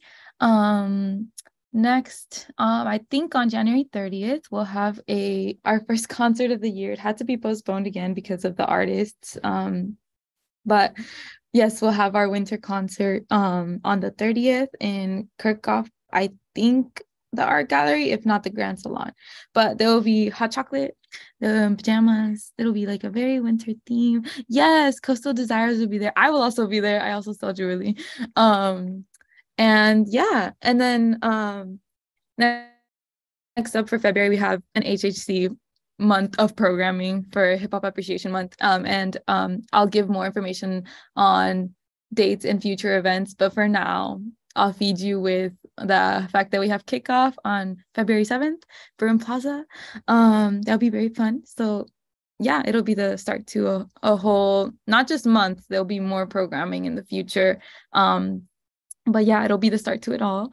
Um, next, um, Jazz Reggae Fest also um, released their call for vendors. So if you would like to follow Jazz Reggae Fest on Instagram, um, it is a student, it is the largest student-run festival in the whole country. So I will say that. Yes, Jazz Reggae. Um, so yeah, go follow and share if you like. And then um, I also just we just we obviously are processing applications from our winter round of hiring, and we did get some seats filled for some directors to get co-directors like for World Fest and for the Word on Wednesdays. So that'll be really exciting for some of my directors to get some support um, and balance. And then uh, we had our retreat this past weekend and it was very successful. Um, other than that, we had our general body meet, our first general body meeting of the quarter yesterday. Um, also very successful, more people in CAT getting to know each other. Um, and then um, and then yeah, working with Eliana on um, multiple things, but we'll be meeting um to figure out the COVID resolution we'll have um by next meeting. So that'll be very exciting. And um I'm just figuring out if there's anything else that I oh uh, yeah, just finishing contracting with um honorariums for um HHC um performers for Explosion and Fashion Show and finishing up those event registrations. Um, and then obviously for ARC, um, I have a lot prepared for the discussion we'll have. So I'll keep it short and sweet for now. But thank you, everyone. Uh, okay, F facilities commissioner. Hey guys. Um, okay, let me see what have we've been up to. So I met with Ariella from Carl's office.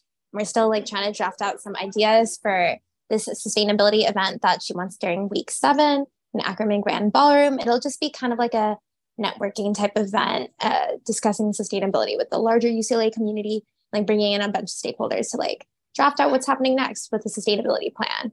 Um, and then I met with Evan from Divine's office. Love Evan, he's so great. Um, and we talked a little bit about Westwood Connected and how that can support and potentially drafting out a presentation to present to the Campus Bike Advisory Committee just to get more stakeholders on and in the stamp of approval of Westwood Street improvements. Um, what else are we doing? Oh, our fellowship application closed last week. So thanks y'all if y'all plugged it. Um, and then we also got a bunch of new staffers. Got like around seven people joining our transportation committee. I think with like all of the STC stuff and everything, people are joining up, which is really cool. Uh, for the Green Initiative Fund on the website, we now have a TGF token section under apply for funding. So now students can find more information on how to get sustainability funding for their work. Um, and then our, for Bruin Bazaar, we have our clothing swaps during week eight, and we might do a collaboration with Zero Waste during week six, but we're no longer doing an event during week four. Um, sorry, I'm just like scrolling through. Still working on the UCLA mobile app sustainability update still getting that process through the reusable diningware program and the mug program.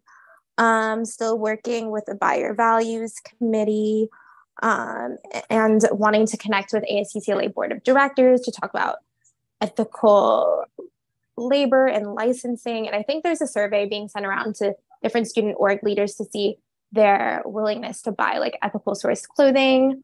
Um, and then our building our space committee has been growing a lot recently too. So they have some projects. Last quarter, they did the, the menstrual sticker change. So instead of saying feminine products, all of these stickers in the bathroom say menstrual products. Uh, but they're also working on trying to get the second floor of YRL. There's an outdoor space. They want to do space activation for that to make it a study space. Uh, they're checking out the gender neutral restroom that's multi stalled at the bottom of Kaplan, seeing what people's opinions are trying to gather more people to have support for more multi-stalled gender neutral restrooms on campus and trying to figure out how to implement that. Um, and then and then access on board that project is doing pretty well now.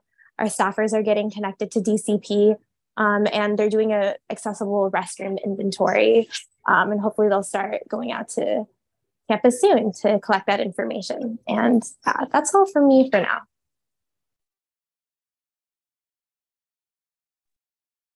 Okay, uh, Financial Supports Commissioner. Hi everyone. Um, so here, let me turn on my video.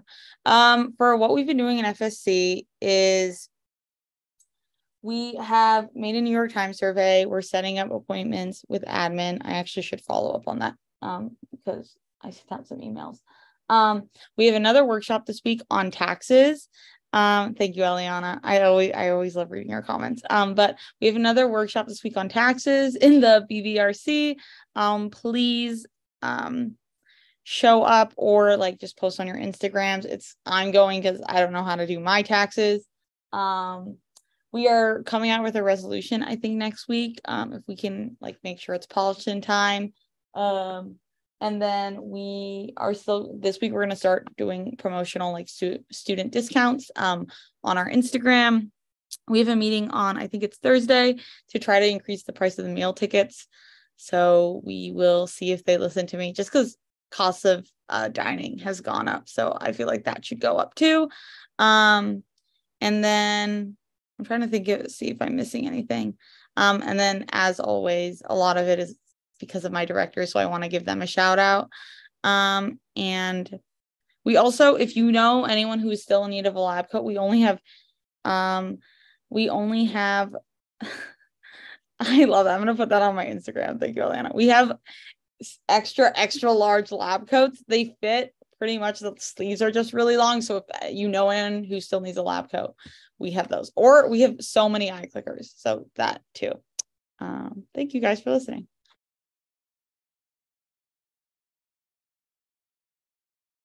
Yeah, Lisa, you have a question? Yes. Um, I just want to ask if like the price, if like increasing like the amount on food tickets would affect the price of the prices of um meal plans. Um, I don't know if that would be the way it would work. So basically, the last time that meal tickets were increased was I think it was like the year of COVID, and they increased it from three dollars to nine dollars. But since then, the cost of meals have gone up. So the cost of we did the math, and the cost of one average meal is about um the for the cheapest plan ten dollars, and for the most expensive plan about seventeen dollars, and the ticket right now is nine dollars. Um, so I don't think um it would be a price increase just because it, it is what we're paying for, but I can update once I have the meeting on Thursday because I I don't know what they're gonna tell me. Of course, Alicia.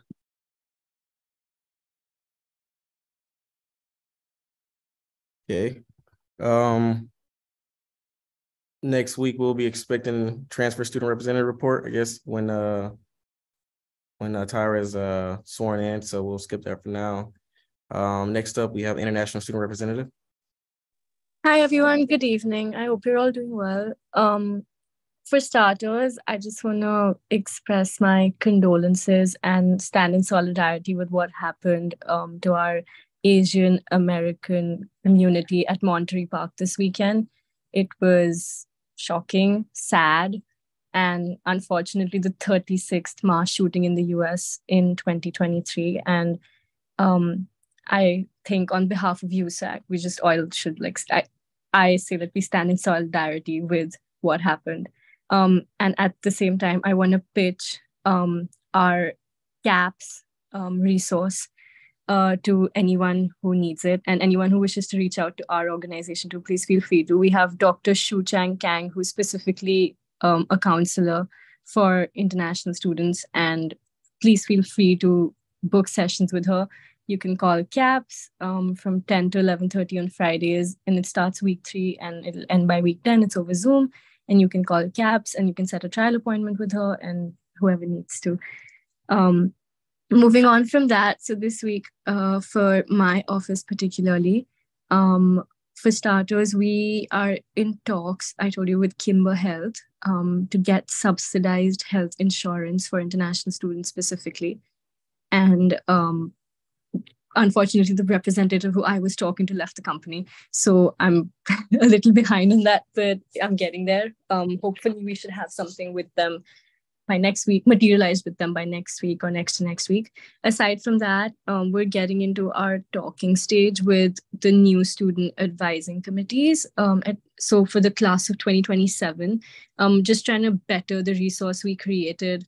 Um, I see divine again. I know it's class of 2027 already. Um, we're just trying to get the resource we created for international students, if just seeing if it's catering to them well enough and anything that needs to be added to it. So by the time September hits and before we get out of office, we're able to put that resource and they're able to actually send it out to the new students who are accepted into UCLA. Um, yeah, and I think aside from that, uh, we're just working with the pre-med society still to kind of come up with a career fair um, this quarter or next, towards the end of this quarter or towards the beginning of next quarter, to just catering to international students um, and getting a lot of organizations on board with that. So I'm in talks for a lot of different things that I hope will materialize soon. But yeah, that's it for my office this week. And in case anyone does need to reach out, please feel free to. Thank you. Thank you. All right, now we'll get into admin reports. Uh, Orlando. Hello, everyone. I hope you're all doing well tonight. Um, just one update. Uh, this week is our um, one-stop workshops. This is the week where we offer workshops to all the new formed organizations, as well as hosting other workshops that returning organizations may be interested in signing up for. Tomorrow's our in-person day. Uh, it will be in Ackerman uh, in the Bruin reception room. So if you're interested, uh, please stop by. And we also will have some virtual workshops starting on Thursday, and I will drop this uh, link in the chat. Uh, but that's the only update I have today. Thank you, Jessica. Hi everyone. Um, so I have a couple events to share with you coming up in the student union. So um, tomorrow we are having a Wellness Wednesday event that's going to be canvas bag painting. So that's from 11 a.m. to 1 p.m. in the Bruin Fun Zone, which is on Ackerman A level, um, right next door to Taco Bell. Um, and then on the 26th, um, Thursday, we're doing a Bruin watch party for the men's basketball game that's at USC. So that's going to be at 6 p.m. in the Bruin reception room um, which that that space is on the second floor um, next to the grand ballroom uh, in Ackerman. So if you want to stop by for that, um, we also are co-programming um, and in the process of planning a Super Bowl watch party with Dashew. So that's going to be on February 12th, and um, I'll share more information about that as I get it. Um, and then the other thing that I wanted to mention. Uh, this week, I'm going to be meeting with Karen Hedges, um, and I um, invited Sydney to join the meeting too, just to go over the appointments system. Um, so we're going to be looking at it and seeing, you know, how can how can we provide additional support for that system so that it's a little bit more clear of a process to use for you all and you know not too um not too cumbersome to get through your appointments. So um if anybody has specific feedback on like that form that's in my ucla um, or things that you want us to look more into please um, feel free to email me any notes you have. And um, you know we'll be going over that process and sort of identifying how we can you know help a little bit streamlined, keep track, keep better track of the appointments, and then also be able to help facilitate those appointment letters that get sent out after council approves um, the appointments. So we're gonna kind of be like deep diving into that. So anybody has any thoughts on any of that process, let me know um, so that I can bring that up in that meeting. Um, other than that, um, you know, just working on a lot of um, contracts and agreements and we got some offer letters going around. So um, you know if, if your office has sent any to me we're working through them. Um, and just bear with me um, as we kind of uh, get those signed and sent out. And you know if anybody has any anything big coming up for your office um, that you want to put on my radar ahead of time let me know. Um, and also free to meet about it as well. But um, that's it for me Thanks. Thank you. Uh, Stephen, is Stephen here? All right, Stephen's not here. Uh, what about Lauren? Is that Lori? Not Lori, I'm sorry. All good. Um, just a couple things. I walked with Nicholas from Phoebe's office to um, work on finalizing late night study nights in Wooden for finals week.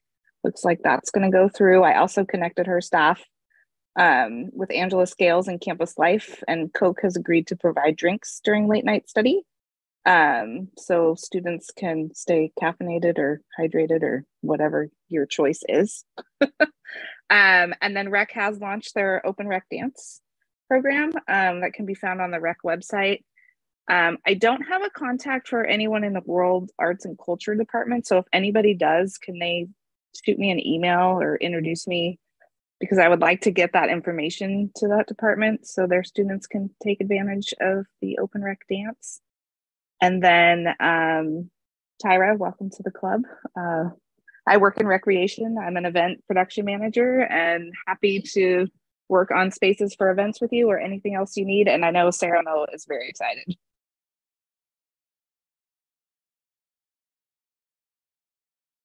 Thank you, Lori. Is Archie here? Well, Archie doesn't work here anymore, right, Jessica? Um, yeah, you can uh take his name off the agenda for Okay. future council meetings. But yes, thank you. Okay, d- will he have a replacement or is it just someone else will take on? Yes, no, there is. We are going to be hi- hiring a replacement. So I'm working right now on getting that posted to our ASUCLA website to start recruiting. So hopefully we'll have someone soon. Okay, awesome. Thank you. All right, we don't have any old business. Um, so getting getting into new business. So our first thing is a discussion on accountability of USAC funding bodies. Um, so I mean, obviously, first off, I think a lot of people probably seen the article that recently came out by Daily Bruin. Um, rightfully so, right? Uh, they- they're reaching out asking for accountability of funds that a lot of students are uh, saying that they're not hearing back from. Um, that if they are hearing back from, they're hearing back from them very late, and this has been affecting students um, in their events that they hold annually. You know, these are events that they, they've held every year since they've been in college. And a lot of these students have, have had to come out of pocket regarding these events. Um, so I just kind of wanted to, you know, just open the floor up for this. You know, it's a discussion to kind of figure out, you know, why things were the way they were, and then what are the plans going forward to um, mitigate those issues so that you know we don't have articles written about us every week and we don't have you know hundreds of students emailing us and you know keep coming to council so uh yes alicia Thank you. I have a lot to get through, but please bear with me.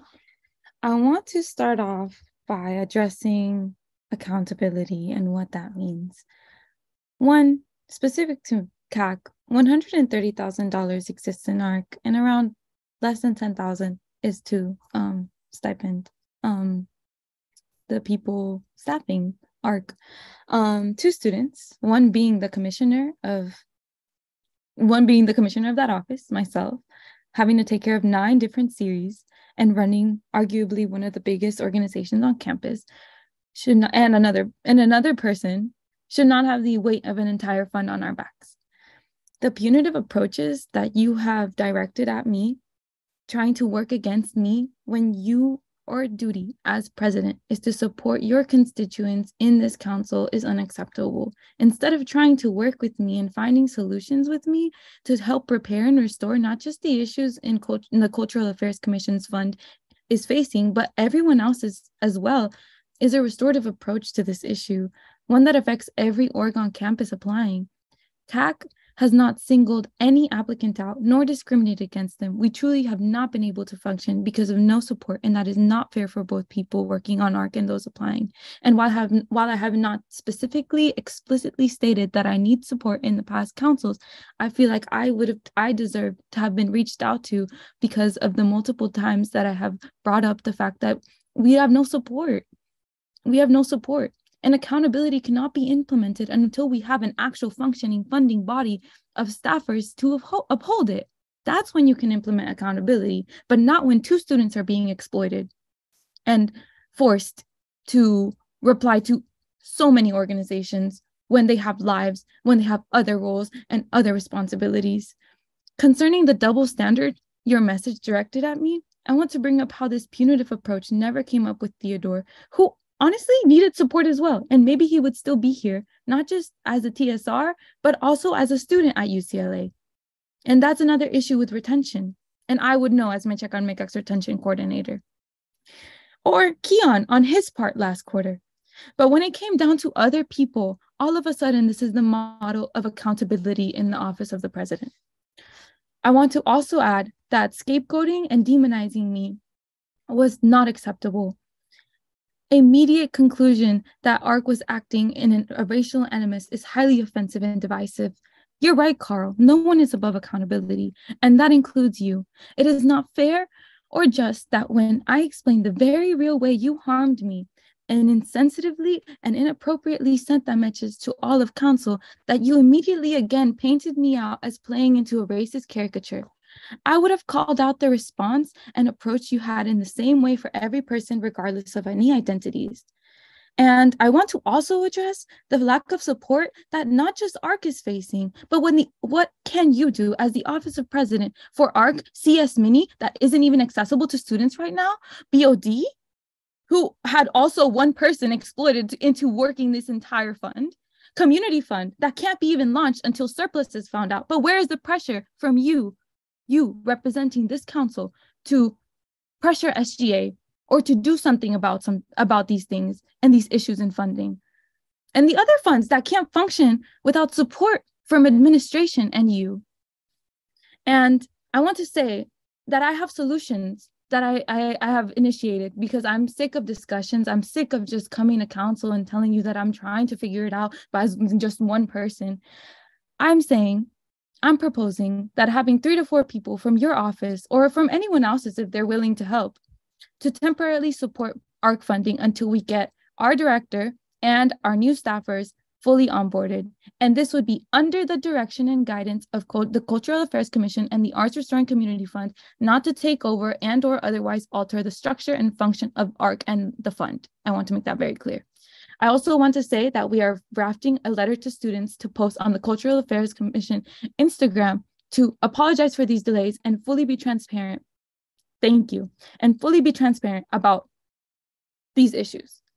I also want to come back to SGA concerns. SGA does need to come before council and the student body publicly and give detailed explanations on why they are struggling and what they need. As president, you should make a public statement on behalf of council delineating the challenges that have plagued USAC funding throughout the year and issuing a call to students to stop these committees lest they want their programs to continue to go with funding issues. Also, back to surplus concerns, I want to really ask what what you can do because I there is I don't see anything being done um, to put pressure on the status of surplus because frankly I have orgs within my commission like needing needing surplus.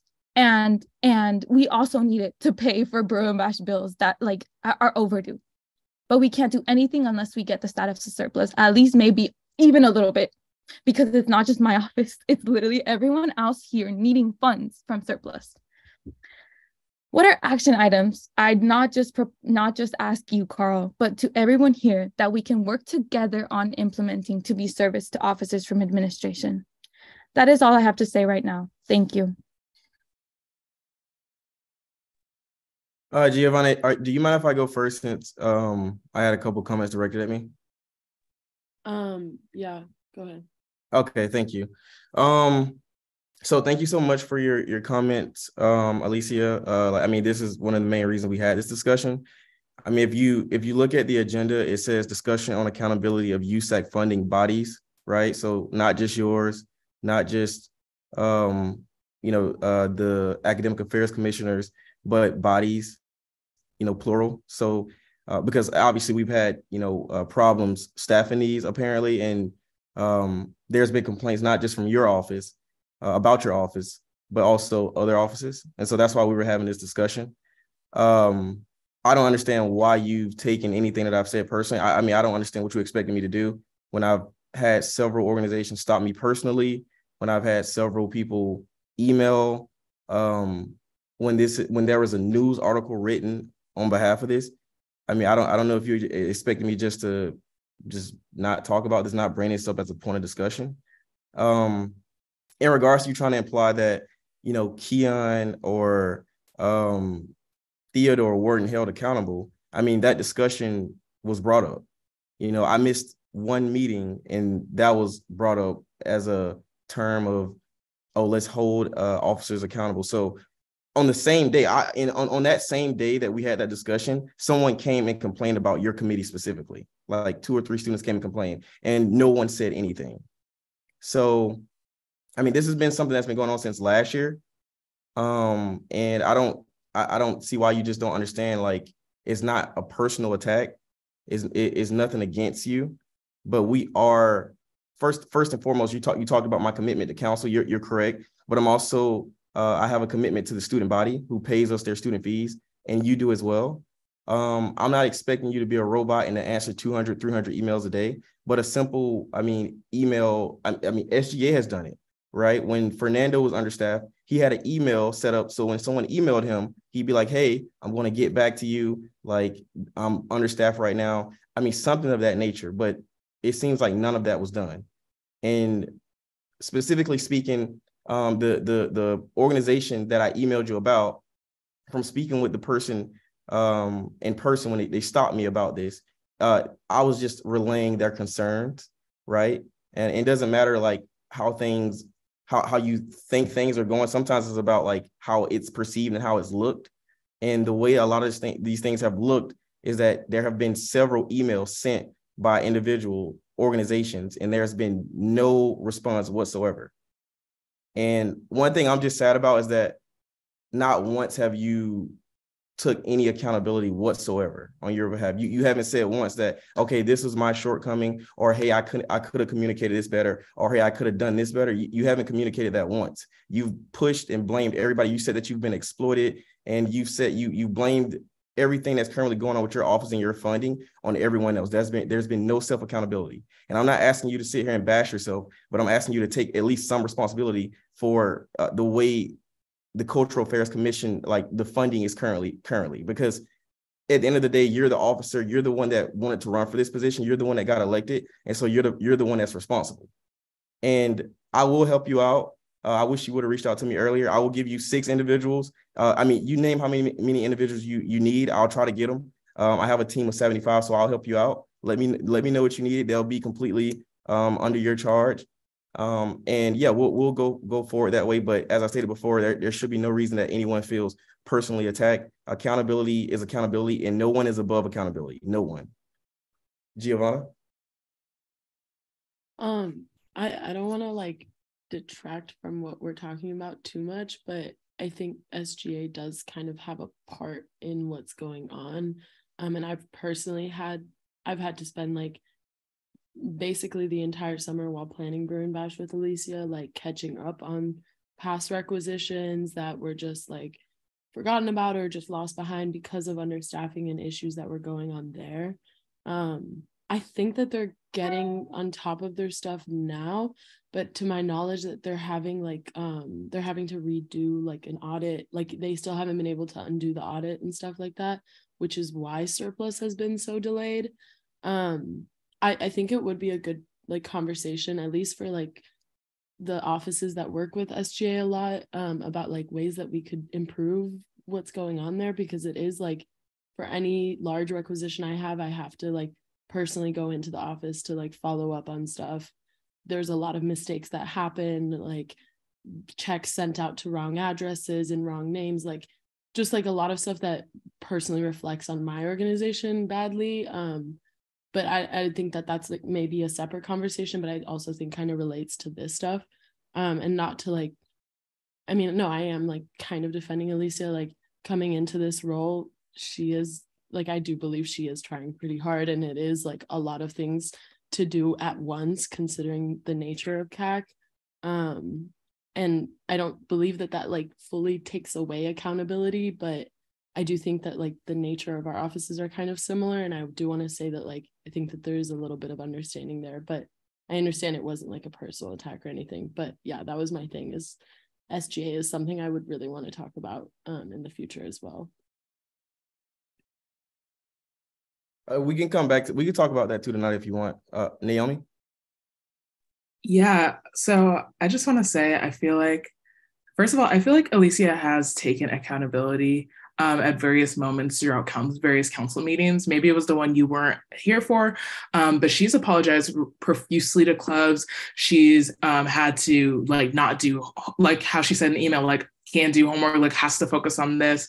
Um, when really we are students. Um, like we're undergraduate students at the end of the day. Um, for me personally, I'm always going to put my education first. Um, even though I did sign up for this role, like you said, like I'm not saying that she's past accountability, um, but she has apologized profusely to clubs, and she's trying to explain like why things have occurred. Like I don't feel like when she says like, okay, we're getting this many applications, like that's like like putting it on like the clubs, saying like, oh, like they're putting in too many applications. I feel like she's just trying to explain like why that's overwhelming, being uh, like only having two people working on it. So I don't uh, completely agree with your point there. And I will also say, like, the support, like, my advisor for just reached out to me last week.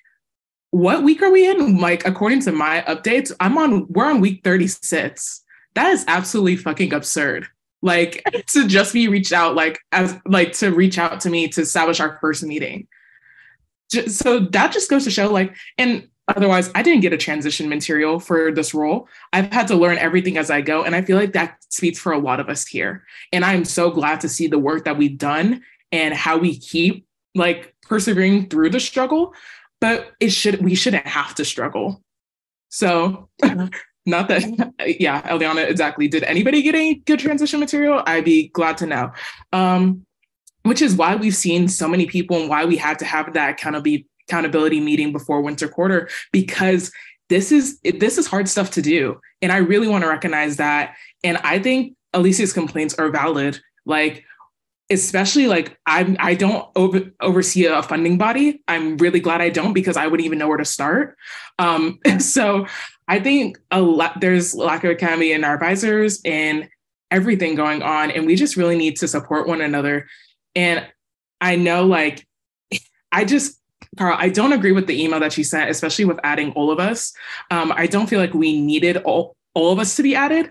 I feel like, especially in your first email, it could have been a like a just a communication with you and Alicia, like to talk about, and the framing of it was very poor. I I I see like uh, what Alicia is saying there. Um, and I just want to know, like, for every complaint that you did receive, like when you say students came up to you, did you slack Alicia? Did you say, let's meet, let's discuss this? Because before going to everybody in that email, I believe a conversation just should have been had between you and her. And I know you said in your second email you didn't want to have that because you were perceived previously by someone on USAC as being aggressive. But I don't quite like we have to talk to one another. We have to. Like there's no other way this council works. Like if we don't communicate with one another. So I I I see your point, but I don't at the same time because like a simple email to Alicia, I feel like would have made this less personal because eh, honestly, in my opinion, it felt like you were singling her out in front of everybody when Alicia has tried to explain numerous times what's going on, that she's trying and like, so it could have been like a simple, like, hey, like, I know you're doing this. I know you're struggling with this. How can I help you here? Or what do you need from me? Or what can the other council members do? Should we set up a meeting with, have an executive session? Stuff like that would have been really tangible actions, but instead of like a call out feel. So I really hope that made sense. I'm not really trying to get in this because I have other shit that I need to do personally, but I just want to say that. Okay. Um, thank you um, I guess like as I stated before, I don't really expect you to understand. Um, as the only black man on council, I mean, you know, I don't, I don't, I don't know if you've like had people try to, you know, lie on you and say that you're aggressive or intimidating. So I don't expect you to understand, but that's something that I've had to, I've had to deal with. Um, and so they're just, they're just, when it comes to accountability, I'm going to do it in a group setting, right? Because I'm not going to have anyone like lie on me and say that I'm coming off a certain way. Um, so I, I understand that. Um, that's okay. You can you can disagree with me, but that that's fine. Um, in regards to just the, the, the specifics of what you stated about how I could have went a certain way, I mean, th- th- the same could be said for Theodore, right? When we had the the accountability the accountability thing with Theodore, I mean, how many how many individuals reached out to him personally, right? When we had a transfer who who is not only his first year, no, I'm sorry. When we had a transfer, it was his first uh, year in college and also his first year on council. How many individuals secretly messaged him and asked him how he was doing when he was secretly struggling the whole time to maintain a good GPA to stay in school. So, I mean, the same could be said for because you you were a big advocate uh, of uh, calling him out and, and, holding him accountable.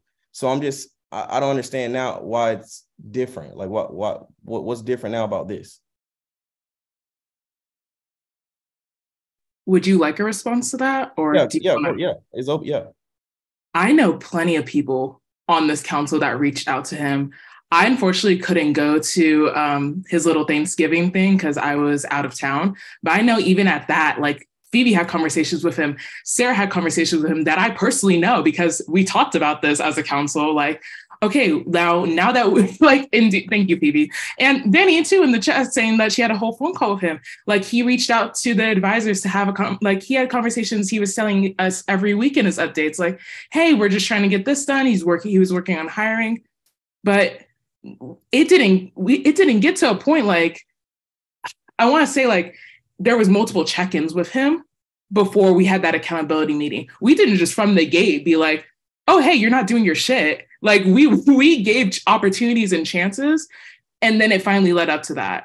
It wasn't like I didn't like blast them on email. I didn't blast them in front of the whole thing. We were having a conversation where all parties knew what we were agreeing to when we entered that conversation okay, but and I spoke with I, I mean we spoke about this last time when someone came personally and and and complained about this this funding body. We spoke about this, and I told individuals on council, and you guys go check the minutes. I said, hey, if if if people need help, like making appointments, like let me know. I'll share it on Instagram. You know, I'll reach out to whoever I I can reach out to. I think Phoebe was the only individual so far who's actually reached out to me for a specific uh, appointment that that she needed help filling. So the like help has been offered, right? Maybe not in a specific way because as you stated before, I don't I, I am not in control of the funding body and I, I can't help someone who I don't know needs help in, in, in a specific way. But funding what I mean help was offered in in ways. Um so I understand where you're coming from. I understand like you feel the way you feel, but I, I don't regret the way I handled that situation. I think I handled it very professionally. And you know, in the future, that's how I'm going to handle situations because, as I stated before, um, as a black man and as the only black man on council, um, I, I won't be perceived as being aggressive. Or if someone will make that, then I'll make sure that the account, the entire council reads whatever I put out so that they can come to their own conclusion. So I appreciate you though. Um, Anna.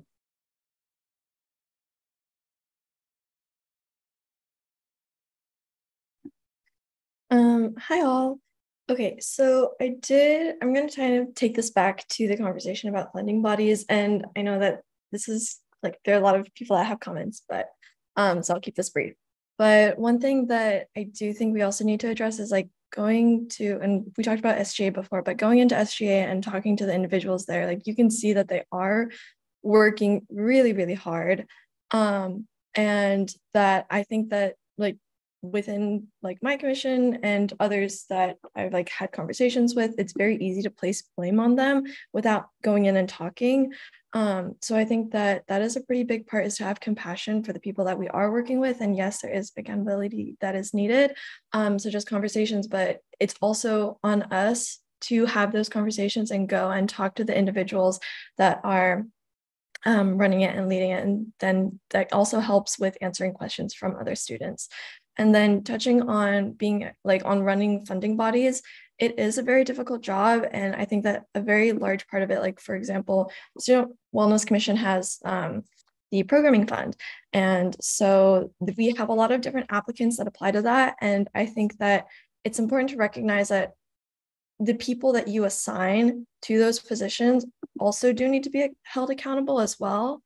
Um, that is one factor. If it can if it's an aspect of like being a, of reading applications and sifting through them and approving them and having the manpower um, communicating with people within your commission and then also outside of it. And this is just from my personal knowledge of us running um, the programming fund for many years. And luckily this year there haven't been any issues but i'd be happy to speak about this offline as well when it comes to um, structuring these programs. Alicia? I want to start off by saying I have never called you intimidating, Carl. and I have never found you aggressive. I said that I found it insensitive for you to not listen to my explanation of why ARC is struggling and why we need support.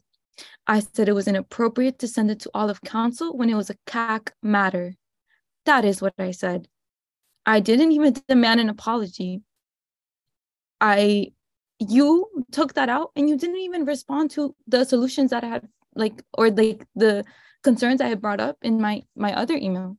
And I also want to say that I think it's a common trend for people to have to go to you to get support instead of you having to go to them because this is your council and you're responsible for helping your fellow officers because we are also your constituents. You lead this, and we need more leadership from you to be working with us instead of against us because right now it just feels like you're criticizing me when there are other body funding bodies that also like need to have like a res- like a restorative approach instead of a punitive one to help like build these funding bodies back up that's all i'm like that is literally it.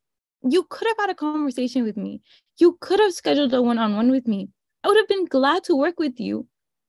But you instead come and criticize me in front of everyone rather than like offering offering a, a like a helping hand. And that like truly. But i'm really sorry if that's how it came off. I'm really sorry i never intended it to come off that way i was just explaining the situation that i am experiencing in this role and the support that i need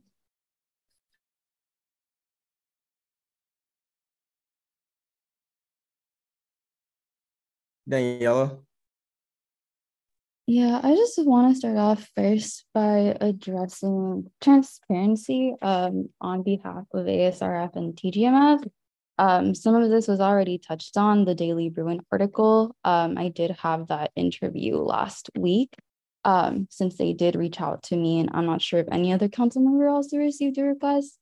But um, basically, both funds were overseen by two directors that were appointed over the summer. Um, at which point, once we transitioned into the fall quarter, the funds opened up to the student body. Um, we had some issues from the start in terms of like supporting both directors' collaboration with each other. Um, and I think that led to a lot of burnout on one which resulted in resignations on both parts um, amidst fall quarter.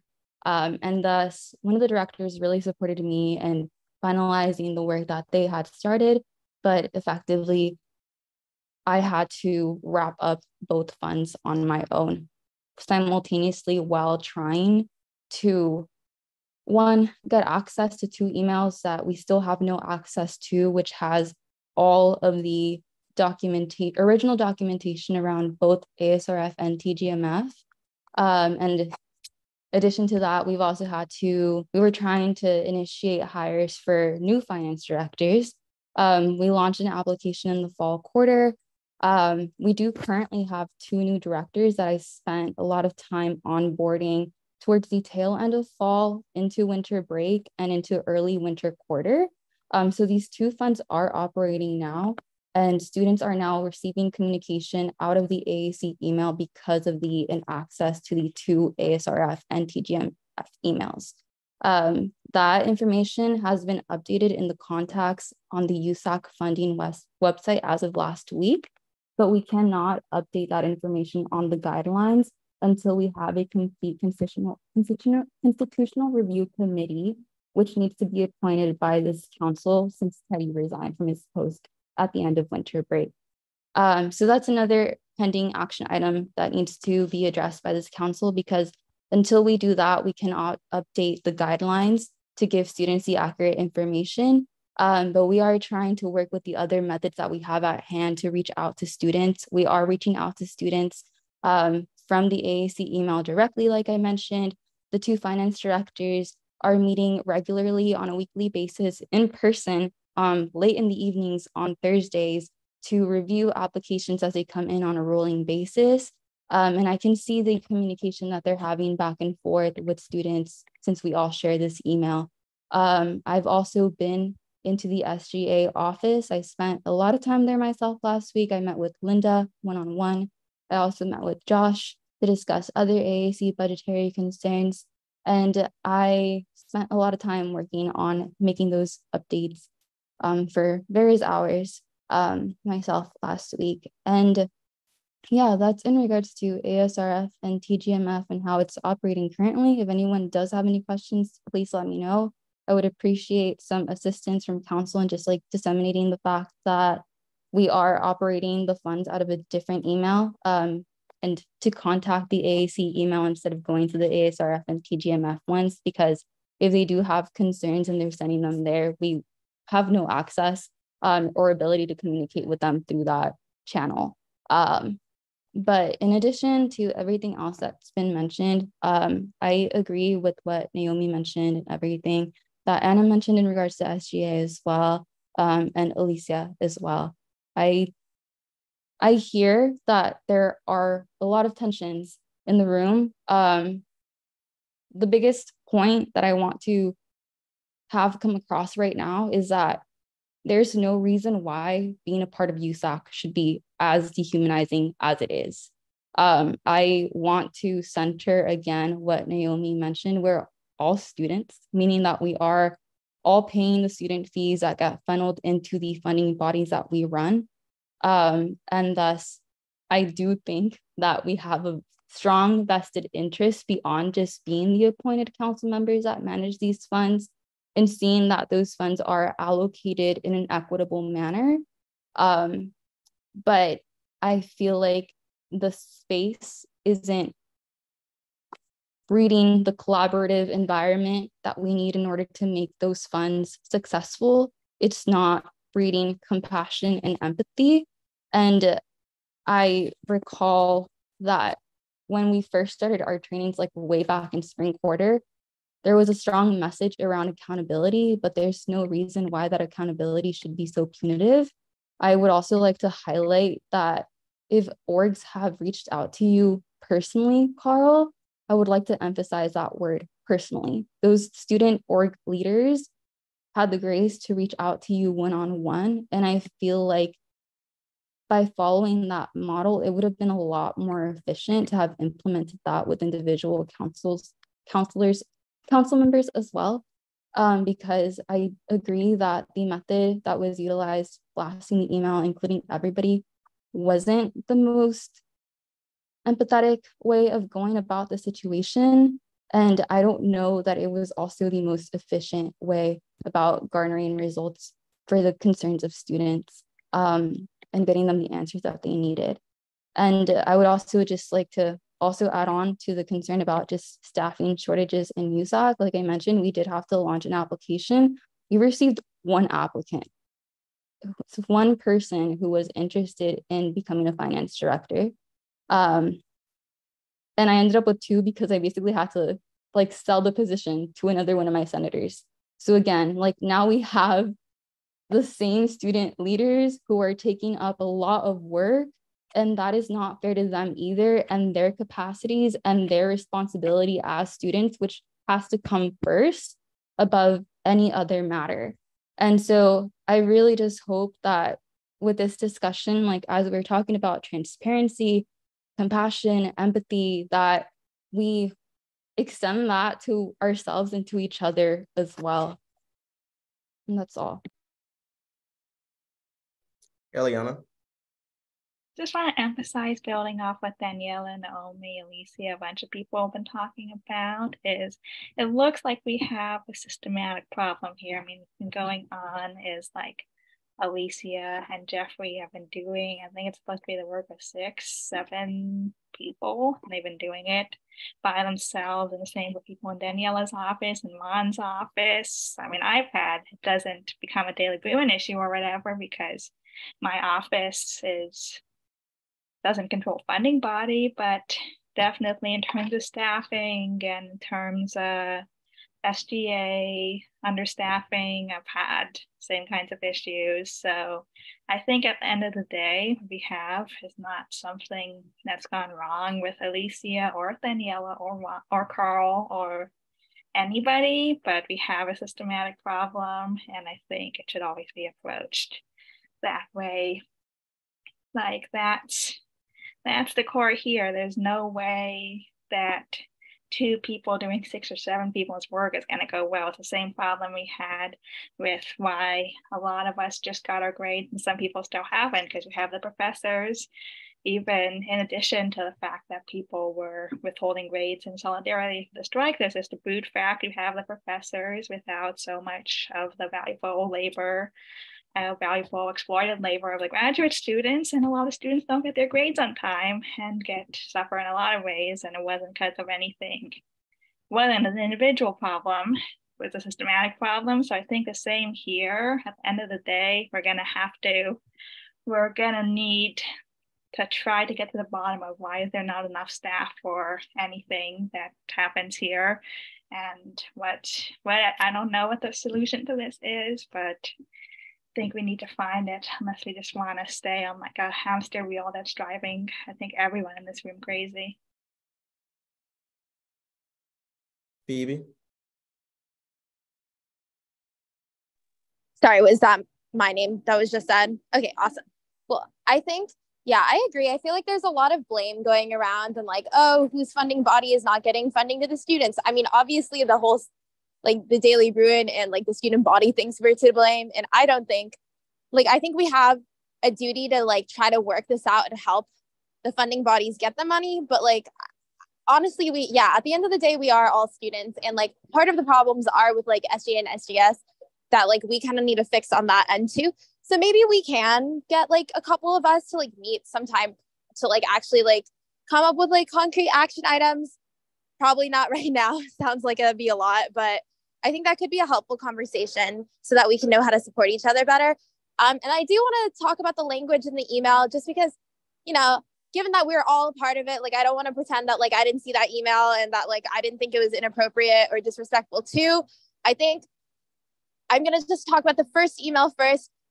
I think it wasn't great that we were all CC'd on it. I mean, it is nice to be aware of these things, but I think using the language, especially like calling out Alicia as cultural affairs commissioner question mark instead of like, you know, by her name respectfully. It was all very accusatory, I think.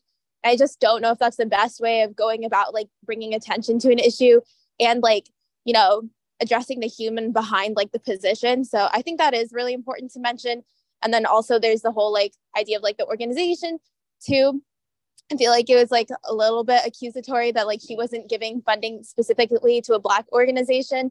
But I do think like generally the fund is struggling across all organizations. So I, I don't know. I feel like it gave an extra edge to the email that I don't know was super great. Um, and then the second email, I'm just gonna talk about one or like one phrase in particular. I think the the phrase "I am sorry you feel that way" came up a lot, like multiple times, like in different paragraphs. And I feel like that's just like not a very compassionate way of going about listening to somebody.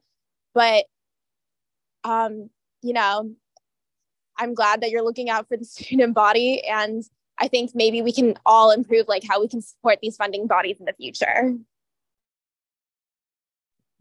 Thank you, Phoebe. I appreciate your your comments. Um, I just wanted to say that like you were the one that called me intimidating one time. So if you disagree with the way that I proceeded to address this this situation, like you're to blame a little bit. So I just wanted to put that out there as well. Like you called me intimidating from a very simple message. So that's the way that I, you know, kind of operate now.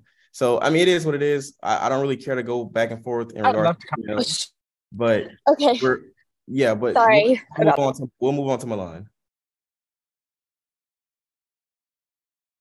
Do I get to respond to that or no? I mean, you you can't. You uh, Milana had her hand raised next, but you you can go if you want.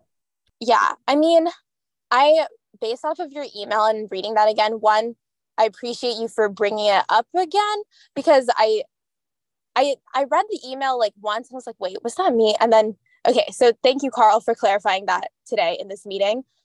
I I do want to highlight that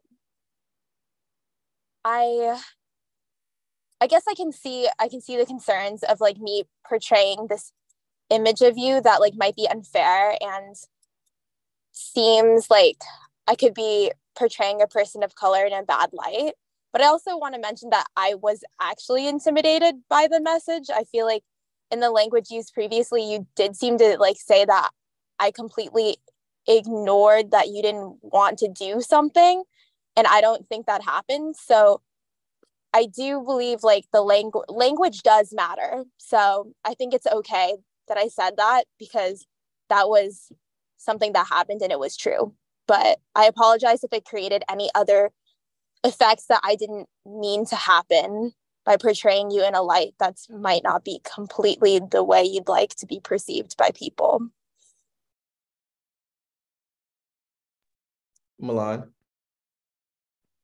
Hi everyone. Sorry, I like popped in for this one. I'm sorry that I like kind of missed half of the meeting just because I'm planning the off-campus housing fair on tomorrow, but I thought that it would be good to be present for um, this discussion. Um, but I have a few things, I think two things, but um, but first I'm like glad that honestly we're able to kind of talk about this now um, because in like my position, I knew that this was an issue, but I'm not, I wasn't quite sure like the extent or like how people really needed support. Um, so I'm glad that I was kind of like kept in the loop on these topics and that we're able to kind of discuss this now as a council, um, even though it's pretty, it's like halfway through our terms, but I'm glad that we're able to address this now. Um, because if I didn't receive like those emails or if we weren't talking about this, I would be kind of um, confused. But I think the main thing that we kind of mentioned was just like council supporting each other. Um, and like I think I think I'm glad that we're able to talk about this now because I think we we might need to be a little bit more transparent um, with like our needs and our capacities. Um, just because like council, I don't know, council is here to kind of like, or at least I know that I'm here also, and then Carl's here to also support council. Um, but it's kind of hard for us because we have like our offices and we have like the work that we need to do. So we're trying to keep track of like our office, like council, and like as well as being accountable to the student body for our different events. So we wouldn't know like exactly what's going on because we're not directly involved with your offices. Um, if you didn't like kind of reach out to us. Um, so I think in the future, like I would love for um, people to reach out to me. Like I know we're all learning and we're all kind of transitioning. Um, so I hope that the student body can give us a little bit more like wiggle room with that. Um, but I honestly I apologize on my part for not extending as much help um, as the IVP. Um, but and I know that I wouldn't like 100% understand like everyone's funding struggles because my office doesn't manage um, any funds that go out to students. Um, but if you did need my help, like I hope that council um, doesn't hesitate to reach out to me and I can try and do whatever I can to kind of support you all. I just haven't been getting like any asks for help and I, I wasn't sure how to like help everyone just because my knowledge is very limited um, on the basis of funds. Um, but if you all need any support, like don't hesitate to reach out to me as well um, because I'm also here if you all um, need any help. Um, and then another thing that I want to bring up is like bringing this conversation. I know that we're talking about like accountability, but I think we also need to look at the situation as um, as like students and also student leaders. Um, I think like we're we're talking about council, but I think if we put ourselves in the shoes of students, um, I just have like a few questions about like like what solutions do we have for students who have been affected um, by these funding delays? And like like what is being done to make sure that the events that students have asked like for allocations for um, that they can get the funding for that so that it doesn't affect like the students as a whole? Because i know that if these funds are kind of delayed and i know um, there are reasons behind that but i think we instead of like kind of accusing each other and like like talking about um, intercouncil i think we should really look at the bigger picture um, and see how like students are being affected and how we can kind of like make this easier for students just because they're kind of like the innocent like i don't know like they what we do as a funding body like it really affects students and i know students have expressed that. Um, so i'm just wondering like how we're going to accommodate students. And then also i know that um, this one like this council is just really really hard because everyone's trying to like make in-person events and um and i know that my office we've been trying really really hard to to kind of make in-person events for students and try and i know covid is not completely over um, but we're trying to make like events more interactive and make it more fun Um, so there's just like a lot that we need to learn, and we don't have any precedent. Like we didn't get many transition docs. I knew I know I got one, um, but it was it it was it wasn't very like extensive. Um, so I think that um, I think that coming back from COVID, like we should look into how we can prevent the these conflicts and like these things from happening for future councils as well. And I think that's why we're also having this discussion. So maybe moving away from um, kind of accusing each other to like how can we prevent this in the future, um, and just like how we can help students right now who are who are affected by these funds. Um, but yeah, yes, okay, I'm done. Thank you, Milan. Uh, we'll go in order. Uh, Daniela, Eliana, Alicia, Sarah, and then we'll move on to the next discussion. Yeah, thank you. Um, I just wanted to thank Milan because when these issues started to show up for ASRF and TGMF, um, I believe that a student had emailed IVP um, and she immediately like forwarded that email to me and actually checked in um, on a personal basis.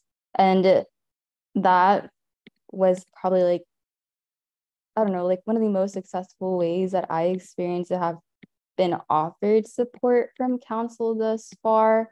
Um, and just to be honest with y'all, like, I think we have to be authentic in this conversation and the conditions that we're operating in as a council, too. Like, it's not the most collaborative space um, and I feel like as a result, it's also not the most empathetic space, too. We haven't had the opportunity to breed relationships as council members, let alone understand each other as students or as human beings. Um, and another point that Milan mentioned too that I would like to piggyback off of as well is like this shift that UCLA has gone into towards more in-person style events has also resulted in more demands from funding bodies that have not been comparative to what the past few years of commissions have had to endure. And their expectations are very different from what, at least for ASRF and TGMF, that we have the capacity to meet. We have in total from those funds around like $46,000. 16K of that goes to ASRF, 30K of that goes to TGMF. A lot of students apply to TGMF and it has become even more so overwhelming to meet all of that in light of resignations, um, a great loss of institutional knowledge over the years of how funding bodies operate, and shortages on top of that in staffing. Um, but now also, if you add to the mix, like the lack of collaboration, support, and empathy that is existent in the USAC space. Um, so those are all like active issues that I think we need to work in addressing um, parallel to the discussion of USAC funding bodies and that accountability. Um, but then another thing that Phoebe mentioned about um, the responses that were being had in regards to like the phrasing of "I'm sorry you feel that way." I think that if we're in the on the topic of accountability, that phrase is a little bit triggering for me to read at the very least because it shifts the blame onto how the person is feeling as opposed to taking accountability for the actions that have resulted in those feelings. Um, and so I really just hope that by taking the space to be transparent of that right now in a public setting, that council can be more mindful about the language that is utilized when we are sharing space with each other.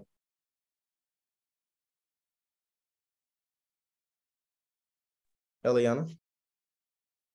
Thank you, Carl. So I just want to mention in terms of solving this, feel like be helpful if everyone who can would see if their staff or themselves would be able to just work on ARC or one of the other funds to help clear the backlog. So I think, yeah, Carl already did this and I've I'll be trying to work on it myself and whoever whatever I can get from building understand. Yeah, I'll be working on that and I'll get. So if any just feel like that'd be a helpful thing for anyone who wants to put in something concrete to just be like, okay, me or my staff can help work on this and clear the backlog. And yeah, I think that sort of stuff is what we need right now. Plus, yeah, I think that's it. And I think there is also want to point out, I think Melissa Valuz Abraham, who's one of the really good advisors we had, pointed out a while ago that we're kind of that there is often among student leaders an element of like crabs in a barrel. You know, you're in like an unnatural, unhealthy environment, and then it leads to all this conflict. So I think it's always helpful to step back a bit and think like what difficult conditions are there, not to refrain from fixing a problem, but to try and not make try not to see each other as the problem as much as we can avoid that. And just, yeah, I love you all. I know you're all working hard. Alicia? Yeah, I want to reiterate how you were telling me and sort of mocking me earlier by saying that like when I expressed that I felt exploited in this role, um, you said like it's just me not being like accountable to um, my responsibility here. But I want to add how incredibly patronizing and manipulative the language in that those emails was, not referring to me by my name, not kind like not approaching me in a kind manner to actually come up with a solution when that's something in in your responsibility as president to do um i also want to add that your response to naomi was incredibly like lacking an understanding of intersectionality and it felt like you were taking away like or like the undermining like the fact that she's also a black person and at that a black woman um that also experiences discrimination and has to navigate life and you kind of silenced that and that was not okay. Um and it's important for you to acknowledge that and build a space for people to be heard because you're not listening to our frankly like our apologies our explanations. You're not listening. You just try to shift the narrative and say i'm sorry you feel that way and go on and not actually address like what i'm what i'm telling you or what other council members are telling you. And that's not okay either sarah um i think I, I I guess I just wanted to make a quick comment. Um, I my name was mentioned before. One thing I just wanted to say was I I didn't have I don't think I had that many. One, I didn't have that many conversations with Teddy. Um, but the I think the much more important thing is just all of us in this. We're all sort of in this role together, and we're all sort of in this role. No, no, no, you're fine, Naomi. I just like I wanted to wait for everyone to say what they had to say. We're all in this role, and we're all sort of in this role together, and we're the only 15 people who know what it's like to be in the position that we're in. Um, and we're also in a very special role where a lot of students are um, holding us accountable um, holding us accountable and we have the power to actually help them like do things that they want to do so i don't think anyone alicia or carl was got coming forward with malintent but more trying to serve the students in the best way that they can um and i because i have worked i mean so far this year with both of you um, and I know that both of you are very hardworking and dedicated. I also think to piggyback on an issue that was said before, um, some of the issues um, that have happened to is just because of a lack of like overall transparency within USAC, and then also a lack of transparency in regards to just the transition with, I think, especially specifically with administration, just because students because of obviously the, the nature of USAC, we come and go. However, administration is are the people who are here year after year. So I think there was just a lack of communication as to what our responsibilities were at the beginning. Just so that was something that I personally struggled with. And I, I think a lot of council members have echoed that. So I just wanted to sort of add um, my two cents to to the to the conversation. I hope I hope that was helpful. Okay, one is the last one.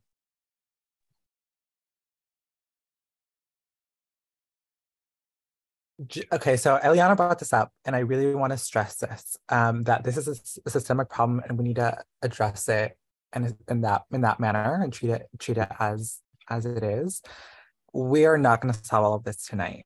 Um, it's 10 p.m. I've been awake since five. I haven't eaten today. I want to go to bed. Um,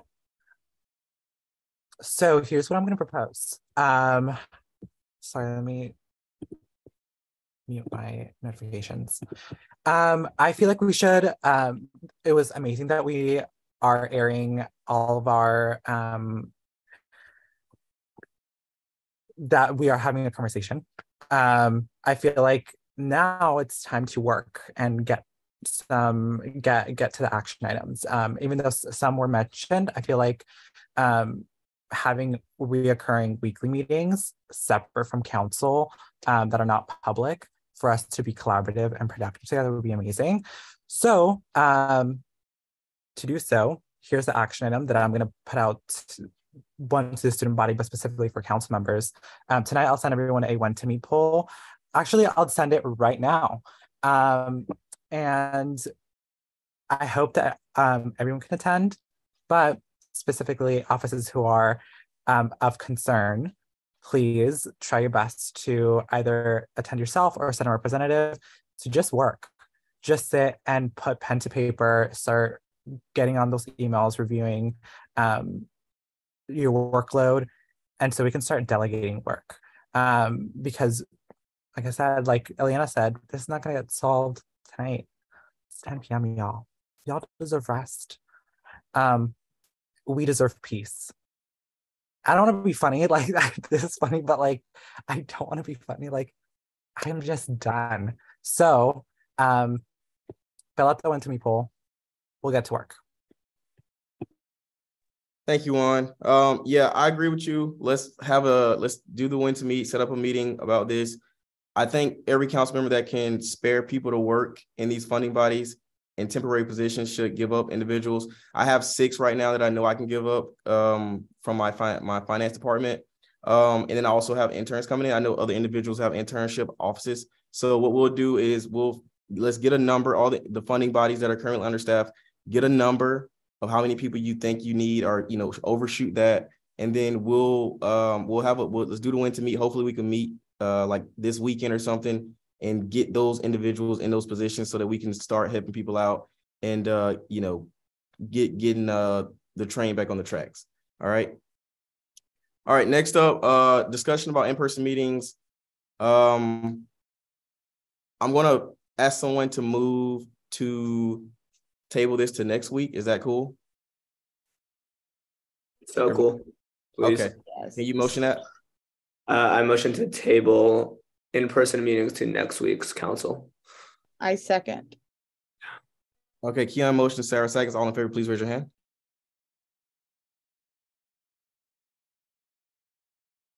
Okay, by a vote of 14 to 0 to 0, the motion passes, and we'll be talking about that next week. Beautiful. Okay. Thank you everyone for coming today. Uh, wait, Juan, you got your hand raised?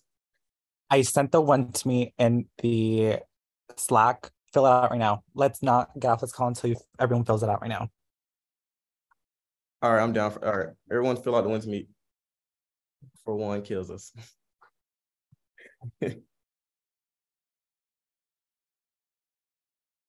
is the action that the student body deserves. Shut up. Oh my god.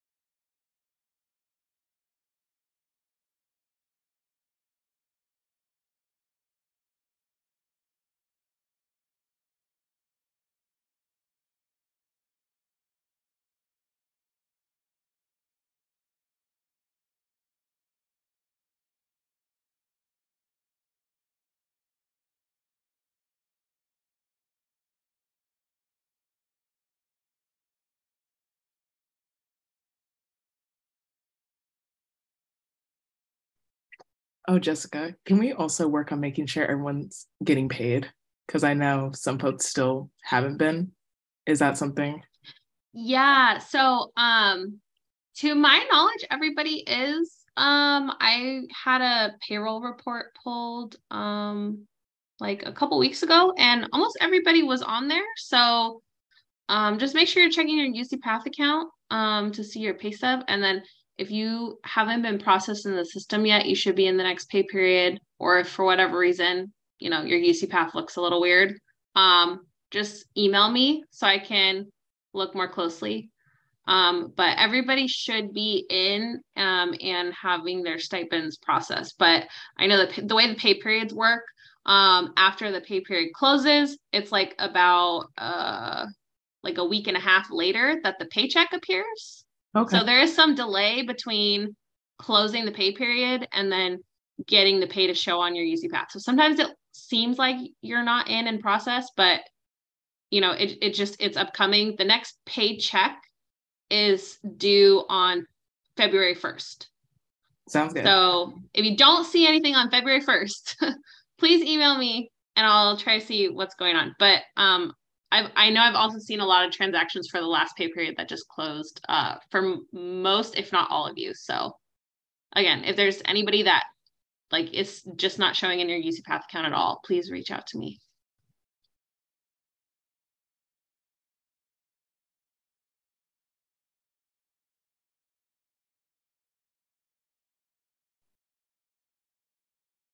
Thank you, everyone.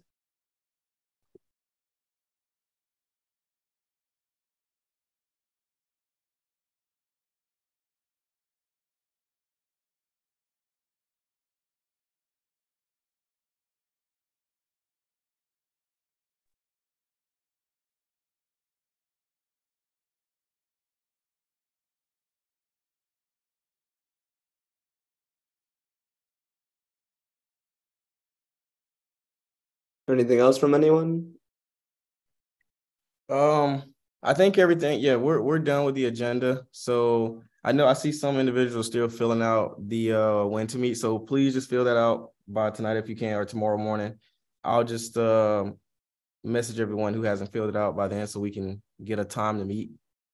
Um, but yeah, I adjourn this meeting at uh 10:02. Appreciate it. Good night.